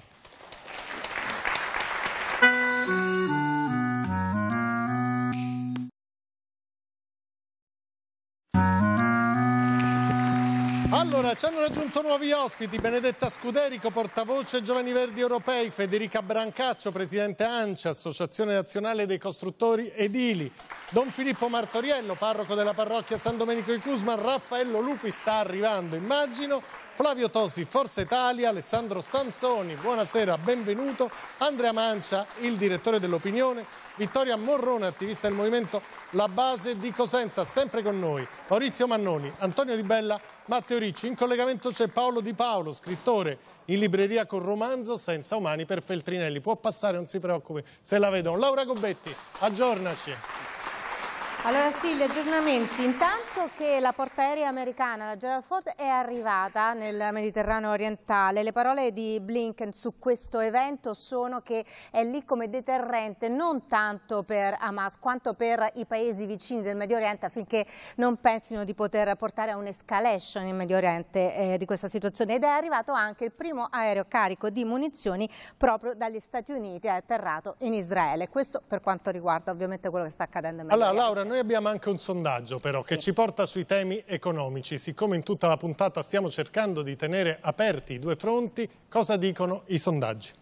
E allora cominciamo subito Giovanni con il cartello 1. La domanda è proprio questa, cioè che co cosa pensa della situazione economica nei prossimi mesi, ovviamente il nostro sondaggio Ipsos di Pagnoncelli. Allora, la questione è questa, resterà invariata? La domanda rispondono sì il 39% degli intervistati, peggiorerà invece, lo crede, il 33% degli intervistati, migliorerà per il 19%.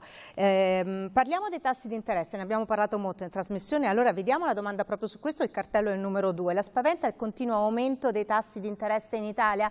È spaventato da questo evento il 51% degli intervistati a fronte di un 25% che dice no, ma c'è anche un forte numero di dubbiosi, 24% come vedi. Il cartello numero 3 invece, la situazione dei prezzi. La domanda è questa, se sia migliorata o meno dopo la presentazione del famoso piano anti-inflazione. No per il 69% degli intervistati, invece sì hanno iniziato a notare un piccolo calo dei prezzi, l'11%. Ancora il cartello numero 4 invece eh, una domanda sull'operato del governo se eh, credono che sia in grado di affrontare le tante emergenze sul fronte economico sia interno sia internazionale. Allora no, non mi, sembra, mi sembra incerto e inadeguato, lo dice il 58% degli intervistati, mi sembra competente e ben strutturato invece il 30%. Allora più in generale qual è il gradimento dei nostri intervistati nei confronti del governo? Il cartello è il numero 5 del governo Meloni eh, vediamo cosa è successo negli ultimi mesi. Allora si parte da giugno eh, 2023 con un 52 eh, di gradimento per poi scendere sia a luglio sia a settembre e rimanere stabile col 47 a ottobre 2023. In particolare sulla Premier Giorgia Meloni, qual è l'indice di gradimento? Anche qui a partire da giugno 2023 il cartello è il numero 6 allora, vedete, anche qui c'è esattamente lo stesso andamento, quindi eh, l'andamento della Premier è uguale a quello del governo, 53 si parte a giugno 2023 per poi scendere a luglio 52, settembre 49, anche in questo caso rimanere stabile a ottobre. Matteo Ricci, cosa sta succedendo? Sta succedendo che stanno finendo gli alibi. In questo anno abbiamo visto la Meloni in maniera anche spesso abile trovare continuamente degli alibi, una volta è colpa dell'Europa, una volta è colpa di qualcun altro, una volta è colpa dei, dei tassi di interesse e, e, questo in qualche modo gli ha consentito di galleggiare su una situazione economica complicata. Adesso avremo un autunno difficile, le questioni sociali vengono al pettine, la crescita sta rallentando, dobbiamo mettere a terra il PNRR e quindi adesso dire, entriamo nel, nel merito delle politiche economiche. Io credo anche che questo anno come dire, sia stato molto condizionato dalle politiche economiche precedenti, chiunque ha un minimo di eh, conoscenza delle, degli andamenti economici sa che non avvengono nel giro di 15 giorni le conseguenze di una scelta politica economica. Quindi io credo che avremo un autunno molto difficile nel quale bisogna avere delle priorità.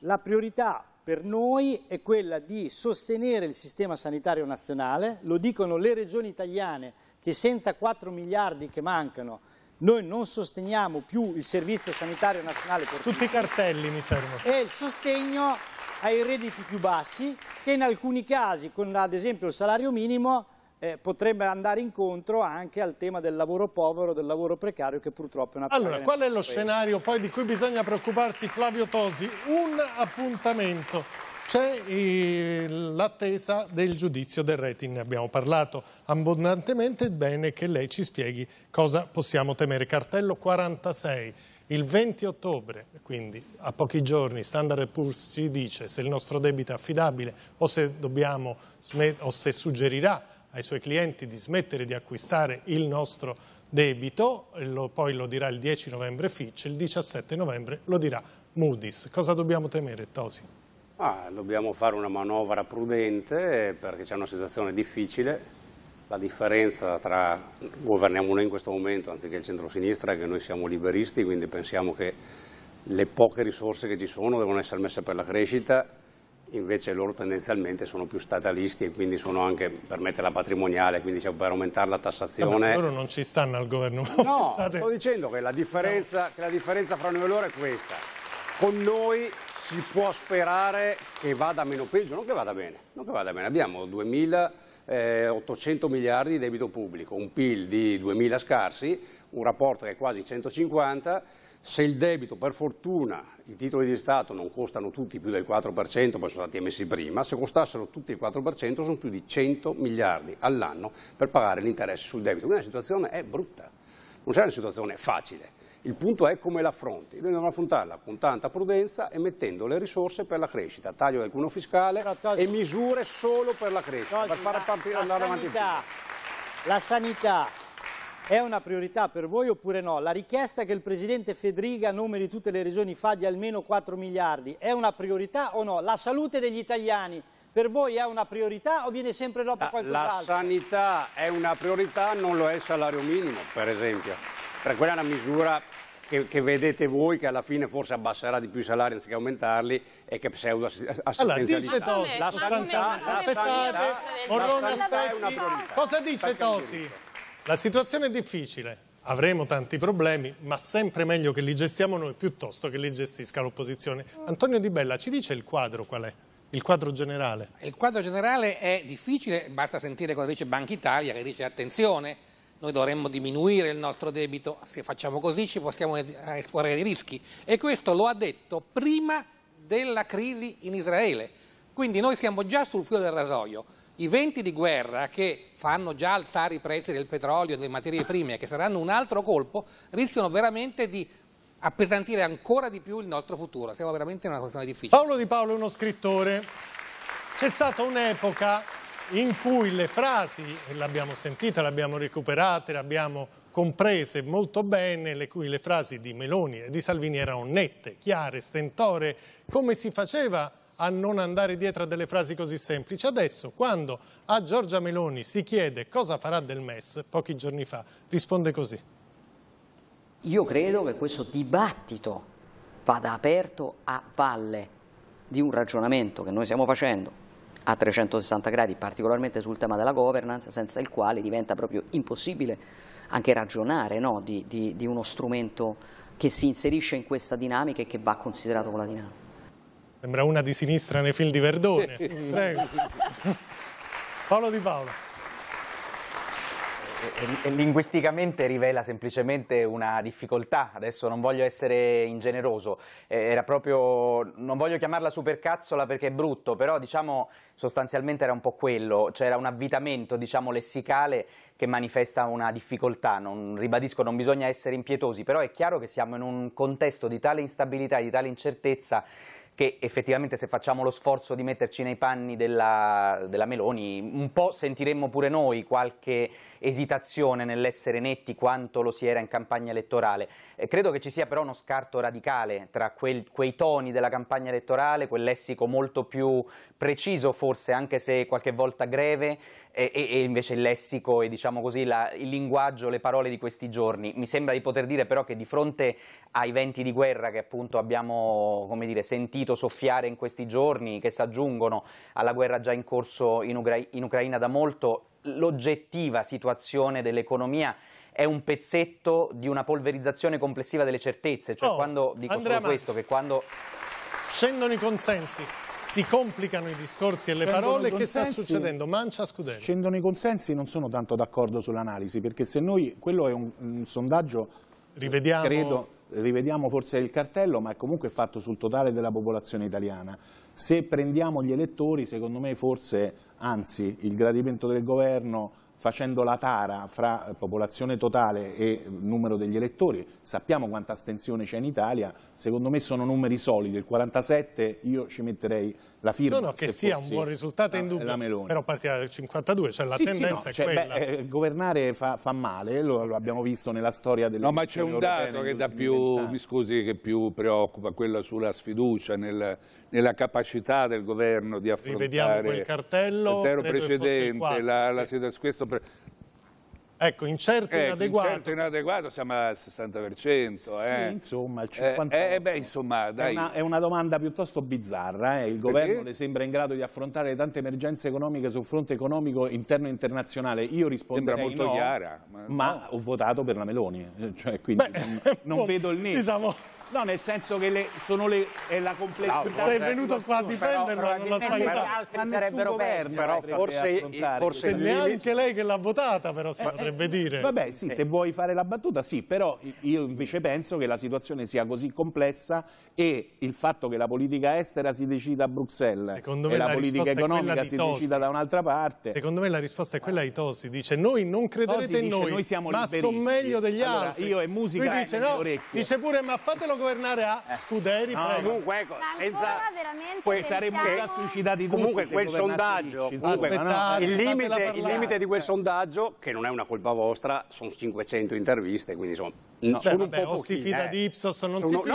No, sono sempre fido, mi fido. 500 fatte Dico, da sono un po' pochine. Sono un po' Magari se le pochine. faceva qualcun altro pochine. davano un altro risultato, ma No, noi ci fidiamo poche, di Ipsos. sono oggettivamente poche. Nel 2023 ancora abbiamo il coraggio di dire che le politiche liberiste sono le politiche per la popolazione, ancora abbiamo il coraggio di credere no, quelle che sono comuniste quelle- ci vogliono. che sono quelle, Quelle comuniste ci vogliono. uno stato in una Quelle crisi comuniste sociale ci vogliono. incredibile. Ci le politiche liberiste che è stato comuniste. provato in Inghilterra perché Liz Truss che è stata nominata prima ha applicato proprio fuori, delle politiche infatti. liberiste Infatti hanno e neanche i mercati a accettano più perché non funzionano, impoveriscono la popolazione. Mentre invece il e tra l'altro comunismo- lei, lei, ma quale comunismo? Sol dell'avvenire, perché sono quelle le due no, scelte. allora se andiamo su comunismo e liberismo, Ma di cosa sta blocchiamo lo studio Di perché veramente serve un professore di storia. Esiste uno Allora, stato sociale. Noi vogliamo tutelare la popolazione perché Voi- quello che fanno Laura Gubetti, c'è Eric Salerno? Quelle che fanno Ok, Eric Salerno è uno dei un più importanti Posso corrispondenti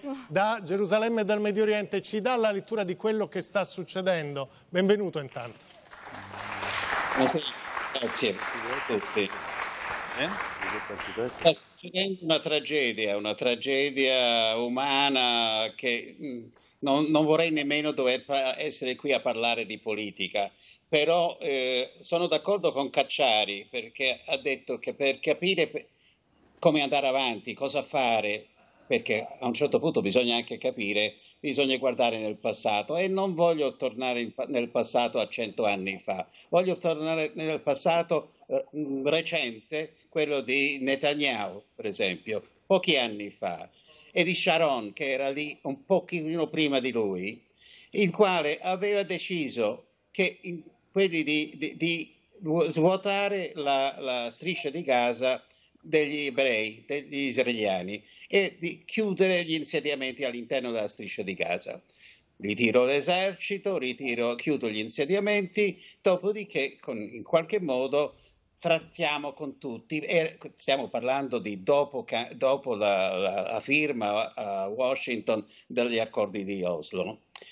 Abu Mazen, che era- non c'era più Arafat, Abu Mazen disse a Sharon, allora facciamo una cosa, è una cosa bellissima, l'inizio di un processo che sarebbe Gaza e Gerico prima a- ai palestinesi, benissimo, cominciamo lentamente questo processo di cercare un- una forma per vivere insieme in due stati uno accanto all'altro.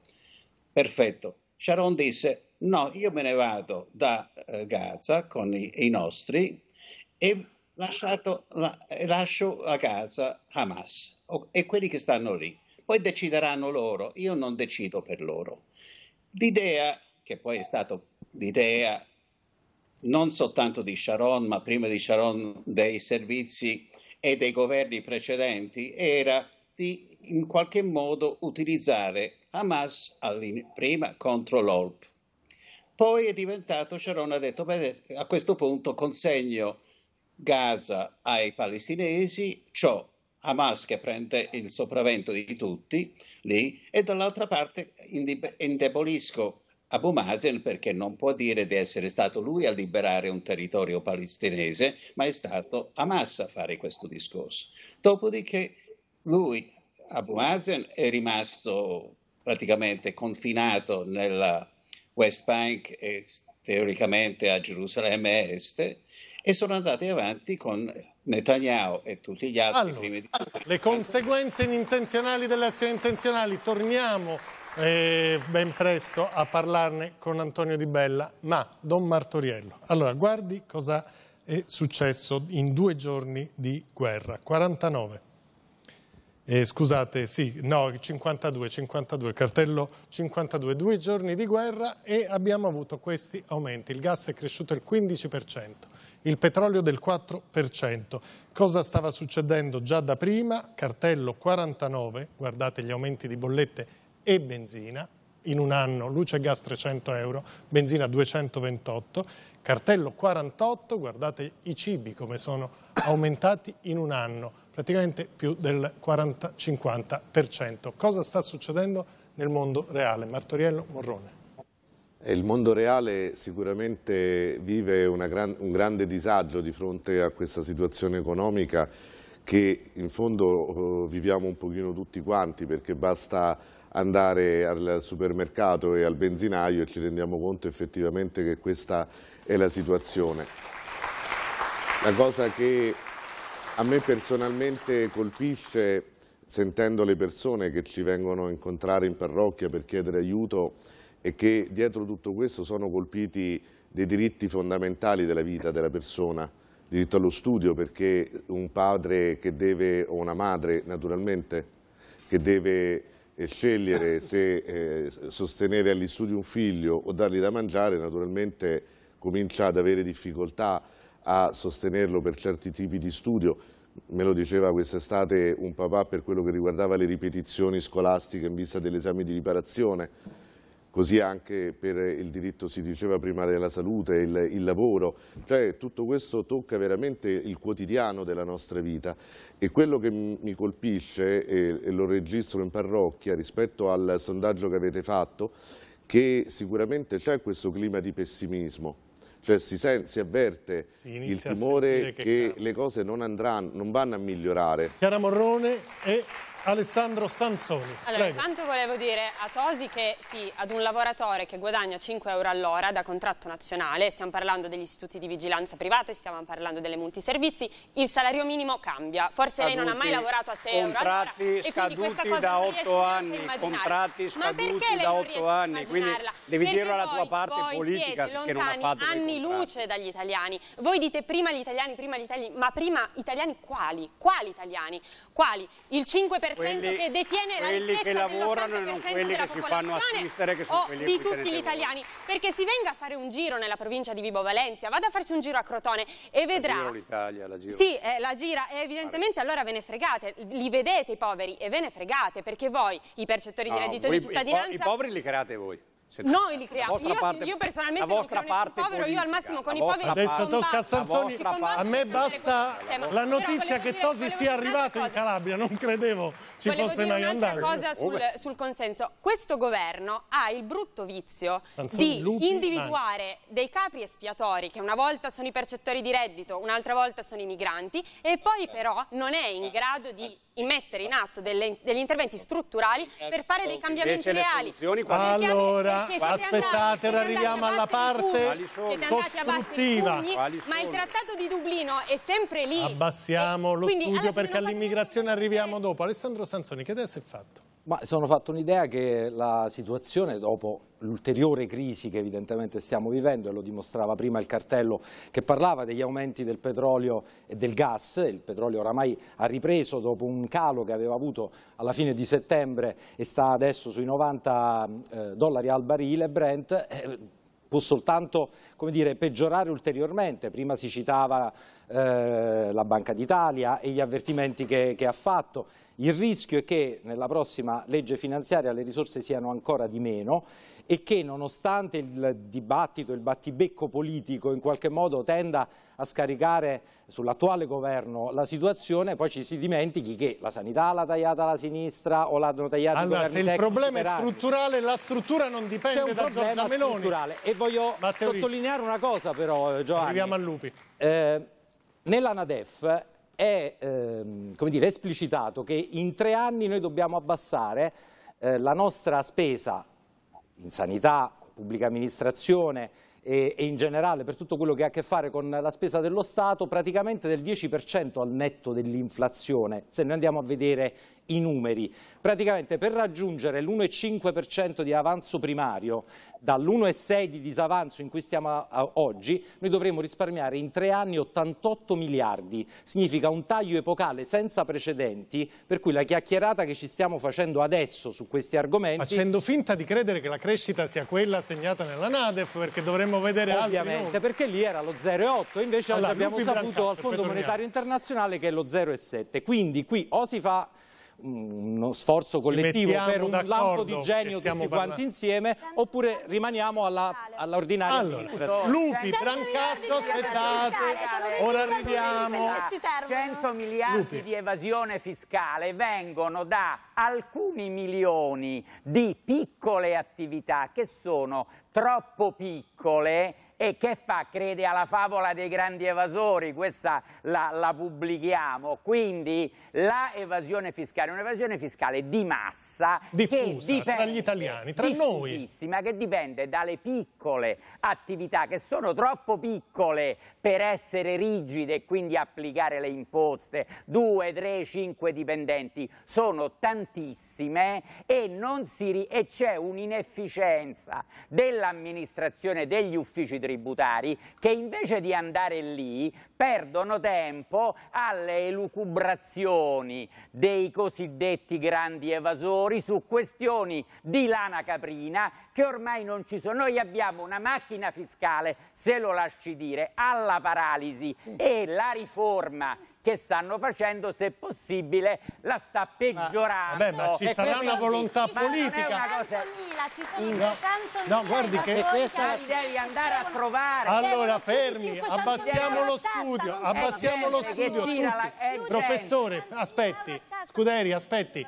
State dicendo la stessa cosa, professore. professore. Allora, Sono 6 milioni. Bisognerebbe, abbassiamo tutto lo studio, bisognerebbe andarli a cercare e organizzare una macchina dell'evasione dell'Agenzia dell delle Entrate, scatenarli sul territorio. Ma figurati chi lo vota più chi fa una Ma cosa no, del genere.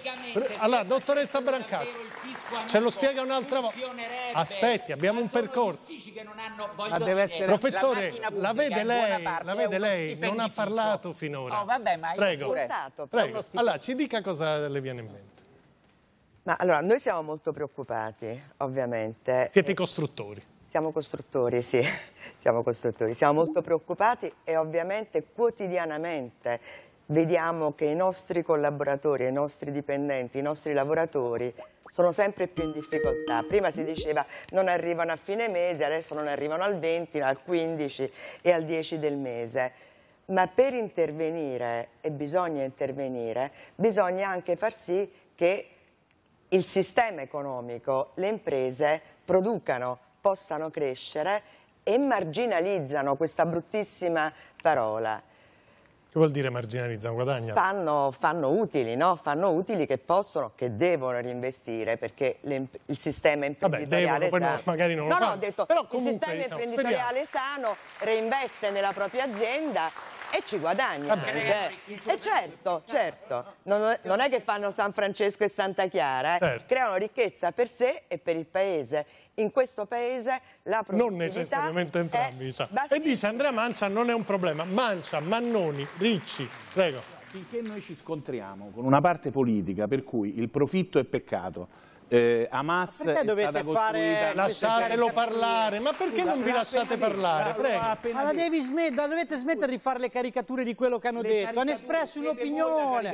Ma smettetela, ma ti vedi in faccia, ma di che ma Cioè, che va chi che il problema è faccia, del liberismo, una cosa che in Italia, non si è Ma mai vista una traccia di liberismo. Abbassiamo lo studio perché è un livello a cui non vogliamo arrivare. Salutiamo Laura Gobetti che è sempre là.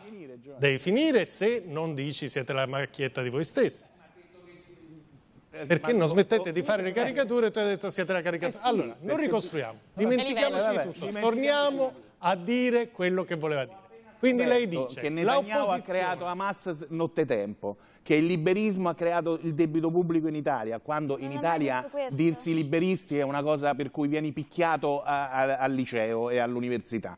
Ho appena scoperto che prima Ricci dice quello che succede adesso nell'economia italiana è stato creato dal governo precedente perché chiunque abbia un minimo di senso sa che ci vuole almeno un anno. Ma io dopo un mese che governava la Meloni sentivo dirvi che la Meloni aveva già portato l'Italia allo sfascello. Ma lo sai perché? allora fate pace col cervello. No, ma- Fate pace col cervello. Intanto, intanto la devi smettere di usare una- un linguaggio offensivo nei confronti di chi parla. Pace e Innanzitutto di cervello. queste due Io ragazze che che secondo pace me non battibeccate, ascoltate. stiamo parlando di concetti importanti. No, Allora, dico- aspettate, Mi so fermi. difendere da sola. Fermiamo lo studio. Allora, dovete abituarvi a parlare tranquillamente, pure pensando cose completamente Eh, eh, diverse. capito. Ma lo usa anche nei miei Calmi, confronti. non vi riprendete sulle singole parole, dateci i concetti. Sindaco Ricci, cosa vuole dire?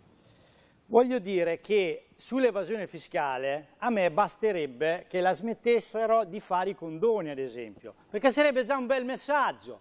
Perché da quando è arrivato questo governo, a non so quanti condoni sono stati fatti, adesso in questa legge di, 12. di bilancio si vuole fare un altro condono. Se si vuole combattere l'evasione, è vero che è complicato combattere l'evasione in Italia per, per la situazione, per il tessuto Per la socio-economico, la frammentazione, bene, ma se si continua a dare il messaggio che chi paga le tasse è un fesso, perché tanto ogni tanto arriva un governo che fa un condono, noi l'evasione fiscale non la combatteremo mai. Allora, Maurizio Eh. Mannoni e poi Allora- Antonio Di Bella. Qual è il quadro d'insieme? Siccome Giovanni so che a te ogni tanto piace ri- ricondurre Sarebbe almeno, sì. alla, ah, no, alla- Siamo tutti stanchi, alla però- questione di fondo, nel senso questo governo allora di fronte a questa situazione che cosa sta facendo? no?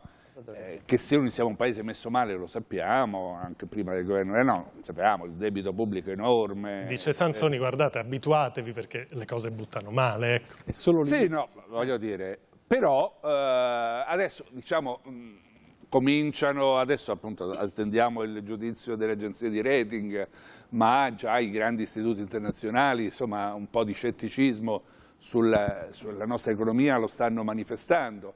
Il problema è che, eh, diciamo, per quello prima sottolineavo quel, quel- quel passaggio del sondaggio, che il governo Meloni non ci aveva prefigurato questa situazione in campagna elettorale soprattutto e poi quando si sono insediati. Ma diciamo nulla di quello che avevano promesso è stato, non dico fatto, ma impostato. Ci sono addirittura eh, povere- della povera gente in, eh, in Romagna che sta aspettando ancora i risarcimenti promessi, non lo dimentichiamo mai, questi che non hanno ancora visto... Parliamone, su- Eh? parliamone di questa cosa. Perché Come parliamo? per- perché il problema nasce nel momento in cui il governo si rifiuta di dare ai responsabili del disastro i soldi per risolvere il disastro. Beh, no, mi eh, sembrerebbe questa- anche una cosa... Questa mi sembra Chi era, una... chi era una- l'assessore all'ambiente della giunta mia, Bonacini? dai, Scusate. Che significa? Dai, questa è proprio una teoria... È una teoria, cioè la realtà? Commissario. Ma niente, eh, sono stati o no promessi a quella gente quei soldi quando è andata lì con i rivali? Stai Giorgio stai Il parlando, che stai che parlando scoccia- chi nega il cambiamento climatico. Beh, Ah, io stai parlando, Allora, Paolo Di Paolo, Scusa, sulle abbastiamo lo Cambiamento studio. Climatico. Dice Mannoni. Cambiamento climatico, sì. E Sansoni ha detto, no? ha detto guardate qua il quadro è brutto, mettiamoci d'accordo perché questi, lo stesso piano triennale presentato dal governo che implica dei grossi sacrifici dovrà essere rivisto sulla base non solo di quello che sta succedendo fuori, il racconto della guerra, ma anche sulla base della crescita. Cioè sono numeri che saranno ancora più impegnativi, quindi diamoci una calmata, non date la colpa al governo Meloni perché siamo appena arrivati, diceva pure Mancia, dice Tosi meglio che la gestiamo noi questa fase che l'alternativa, dice Mannoni, però ci avevate detto altre cose. Cosa sta succedendo nell'opinione degli italiani? Paolo Di Paolo e poi Antonio Di Bella se ci guarda col suo sguardo da fuori. Sta succedendo che uno guarda al suo quotidiano e vede che appunto, torno a quello che dicevo prima, saltano tante certezze, non c'è soltanto questo clima di instabilità complessiva, c'è l'idea che appunto vai al supermercato, vai a fare benzina e le cose effettivamente non ti tornano. Come diceva Mannoni in studio, è ovvio che nelle promesse elettorali c'è sempre qualcosa di esuberante, però quando cogli una sproporzione così radicale, questo naturalmente un po' ti fa effetto, soprattutto quando io ho davanti un libro che parla del Cinquecento, perché in un pezzo di romanzo c'è quello, le lagnanze dei contemporanei, quando ti accorgi che una libra di carne costa quanto un montone intero, evidentemente questo è il 500, quindi l'altro ieri, e effettivamente senti che c'è qualcosa che non va. Il che naturalmente poi produce nella classe politica una sorta di scaricabarile all'indietro, fino forse al 500 a questo punto, però richiede anche un certo, una certa responsabilità, sia linguistica che etica. Cioè mi piacerebbe che invece che intortarsi tra le parole, poi il governo diciamo, parlasse in un modo un po' più aperto, magari manifestando anche delle difficoltà, ma dando conto di quello che non è riuscito a fare e a impostare, perché per l'appunto, se guardiamo a quello che abbiamo ascoltato durante la campagna elettorale, c'è qualcosa che oggettivamente non torna. Antonio Di Bella, gli altri stanno come noi, gli altri paesi in Europa o fuori dall'Europa? Dipende. Ma in Europa e fuori dall'Europa i paesi non stanno con i nostri numeri, che sono fra i peggiori di tutti, ahimè. Non hanno i nostri debiti. Ecco, non hanno il nostro debito. Eh, però io sono stato a Parigi e a New York. Prendo un esempio da Parigi e uno da New York. Da Parigi Valls, Manuel Valls disse, io ho fatto promesse in campagna elettorale, però ho un obbligo, un obbligo di verità. Ecco, io credo che questo obbligo di verità, che in parte il governo, basta pensare a quel che dice Giorgetti ogni giorno, sta onorando, bisogna fare un ulteriore passo. Io credo che la sincerità e la verità in una situazione difficile siano comunque premianti rispetto alle sparate. E l'altro dall'America, Biden che ha detto, eh, quando viene accusato di essere un comunista o socialista, anche lì, eh, io in realtà amo il capitalismo, lo difendo, però chi fa i soldi deve pagarlo e se non paga le tasse va in galera. Questo è un messaggio. Laura Gobetti, dacci gli ultimi aggiornamenti. Sì, allora aggiornamenti sul fronte diplomatico. Gli Stati Uniti stanno promuovendo le relazioni con il Qatar affinché intervenga nel rilascio degli ostaggi e poi Blinken arriverà giovedì in Israele. Invece sul fronte proprio degli scontri le forze di difesa israeliane dicono di aver colpito l'abitazione del portavoce militare di eh, Hamas. Si tratta di Abu Obeida, non è ancora però certo che fosse presente quando è stata colpita la sua abitazione, quindi su questo non si hanno notizie certe il discorso di Biden, ci sono delle reazioni degli altri paesi o ci sono stati dei commenti? Allora, per ora nessuna reazione, a parte ovviamente quella di Netanyahu che vi abbiamo anche riferito, eh, ha detto che eh, chiaramente quello che è successo in Israele in questi giorni è di una ferocia incredibile che non si vedeva dai tempi dell'olocausto. Eh, queste sono state le reazioni. E poi quella di Zelensky eh, che ha detto probabilmente dietro quanto accaduto c'è anche in qualche modo eh, la mano eh, russa e, e, teme che questo sposti l'attenzione ovviamente dalla guerra in Ucraina. Su questa però è arrivata anche l'assicurazione americana, subito è stato detto, l'ha detto lo stesso Biden ma anche il portavoce americano, abbiamo risorse per finanziare entrambi i fronti, saremo ovviamente al fianco di tutti. Grazie Laura, diamo il benvenuto a Aldo Cazzullo. Buonasera, buonasera. Giornalista e scrittore, lo conosciamo tutti. Domani, mercoledì, riparte la seconda stagione del suo programma Una giornata particolare in prima serata qui sulla 7. Con quale giornata particolare cominciamo? 28 aprile 1945, la morte del Duce, la cattura di Benito Mussolini, la fucilazione e poi l'esposizione del corpo a Piazzale Loreto, una tragedia italiana, ancora molti misteri da risolvere, ma nello stesso tempo la fine della guerra. E poi il trafugamento del corpo del Duce che venne nascosto, cosa che anch'io Giovanni non sapevo, nella Certosa di Pavia, uno dei posti più belli d'Italia, perché poi il pretesto è anche, cioè, raccontiamo una giornata di storia, ma anche un modo di far vedere luoghi meravigliosi il lago di Garda, il lago di Como, Milano, la Certosa di Pavia, una grande tragedia italiana che si consuma in posti di commovente bellezza. Sì, è stato uno dei motivi anche del grande successo della prima stagione, no? questa fotografia, questa capacità di mostrare il nostro paese. Sono otto puntate, momenti cruciali della storia del nostro paese, una è dedicata alla battaglia di Ponte Milvio, tra l'altro ne avevamo parlato da poco con il tuo libro quando eravamo i padroni del mondo, no? Sì, perché noi siamo abituati a pensare agli imperatori romani come i persecutori dei cristiani, e alcuni lo furono, da Nerone a Diocleziano che martirizzò Sant'Agnese, San Gennaro, però se oggi l'Occidente è cristiano, se il Papa è in Italia, se noi preghiamo Gesù, è perché Roma diventò cristiana. E noi racconteremo ora per ora questa giornata, il 28 ottobre tra l'altro, questa giornata in cui Costantino, secondo la tradizione, ha un sogno, sogna un angelo che gli mostra la croce, in questo segno vincerai, e lui fa tracciare la croce sugli scudi dei suoi uomini, sconfigge Massenzio e l'impero diventa cristiano. E la storia della donna sarà la storia di Sant'Elena, la mamma di Costantino, che fa il, il primo pellegrinaggio della storia, va a Gerusalemme, ritrova la vera croce, la croce cui secondo la tradizione fu inchiodato Gesù, la porta a Roma, il figlio fa costruire la basilica di Santa Croce in Gerusalemme, insomma nasce la storia del cristianesimo. Poi c'è Cristoforo Colombo per me uno dei più grandi uomini che siano mai esistiti. Ecco, questa idea che bisogna battere la statua di Cristoforo Colombo è una cosa che non riesco a sopportare. Non possiamo attribuire a lui la colpa di crimini che altri hanno commesso.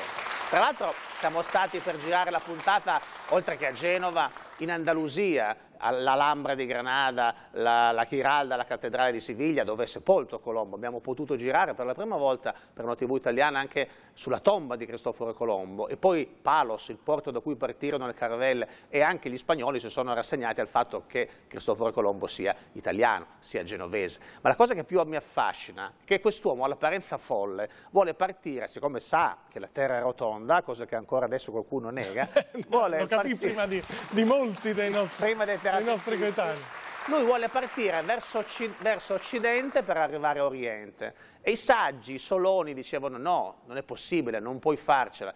E il bello è che avevano ragione loro, perché andando verso Occidente, prima di arrivare alla prima isola che avrebbe incontrato, il Giappone, sono 22.000 chilometri, e con quei tre gusci di noce che mostreremo nella trasmissione non ce l'avrebbe mai fatta. Per sua fortuna in mezzo c'era l'America. Perché la fortuna aiuta gli audaci, appunto. Poi ci sono le donne, Anita Garibaldi, Beh, Caterina sì. De Medici. Raccontiamo lo sbarco di Garibaldi in Sicilia, eh, andando anche a Caprera sulla sua tomba e andando anche nelle paludi attorno a Comacchio, dove Anita Garibaldi, nel tentativo disperato di raggiungere Venezia, in fuga da Roma, Roma era caduta, per, eh, Garibaldi tenta di raggiungere Venezia che ancora resiste e Anita muore al suo fianco, lui continuerà ancora ad amarla per tutta la vita. E lì io voglio cercare di difendere Garibaldi, perché oggi Garibaldi non è di moda Giovanni, perché i nordisti dicono noi saremmo felici come in Svizzera se Garibaldi non avesse unito l'Italia, i sudisti dicono no, noi saremmo liberi e felici se Garibaldi non ci avesse invaso, come dire la colpa dei nostri guai è sempre di altri italiani, non possiamo farci niente. No, noi siamo per Garibaldi e cercheremo di dimostrare... Perché ci siamo formati negli anni Ottanta, all'epoca andava di moda. E dove ci porterai? In altri posti dell'Italia? Beh sì, ad esempio per raccontare la giornata di Dante all'inferno, perché Dante sta all'inferno un giorno o poco più, in cui incontra Paolo e Francesca e andremo nel castello dove Francesca fu assassinata dal marito geloso, incontra il conte Ugolino e andremo a Pisa, nella torre in cui il conte Ugolino fu, fu, prigioniero, che non è la torre di Pisa, è un'altra, ma vedremo anche la torre di Pisa. Naturalmente andiamo a Firenze, andiamo a Ravenna sulla tomba di Dante e poi anche a Orvieto, dove c'è una cappella meravigliosa affrescata da Luca Signorelli con affreschi della resurrezione, del giudizio universale che sono ispirati a Dante, mentre a Firenze andremo nel Battistero che adesso è chiuso per restauri, siamo riusciti a salire sui ponteggi quindi mostreremo i mosaici meravigliosi che invece ispirarono Dante perché sono mosaici ancora più antichi della Divina Commedia con l'inferno, il diavolo, i dannati. E un altro luogo a cui sono molto affezionato è la Basilica di Arezzo, dove Piero della Francesca dipinse la storia della vera croce di cui parlavamo prima. Ti ricordi Giovanni il paziente inglese? Quella scena in cui c'è il Sikh, l'indiano col turbante, che porta Juliette Binoche, l'infermiera canadese di cui è innamorato, in questa chiesa toscana, buia, vuota, la imbraga con le corde, la tira su, lei ha una torcia in mano e può vedere queste fresche bellissime occhi negli occhi. Grazie ai droni li faremo vedere anche agli spettatori, tra cui il primo grande notturno della storia della pittura, il sogno di Costantino che sogna la croce e in quel segno vincerà e cambierà. Tutto torna. Aldo Cazzullo, una giornata particolare da domani, prima serata sulla 7 in bocca al lupo. Buon Grazie. Lavoro.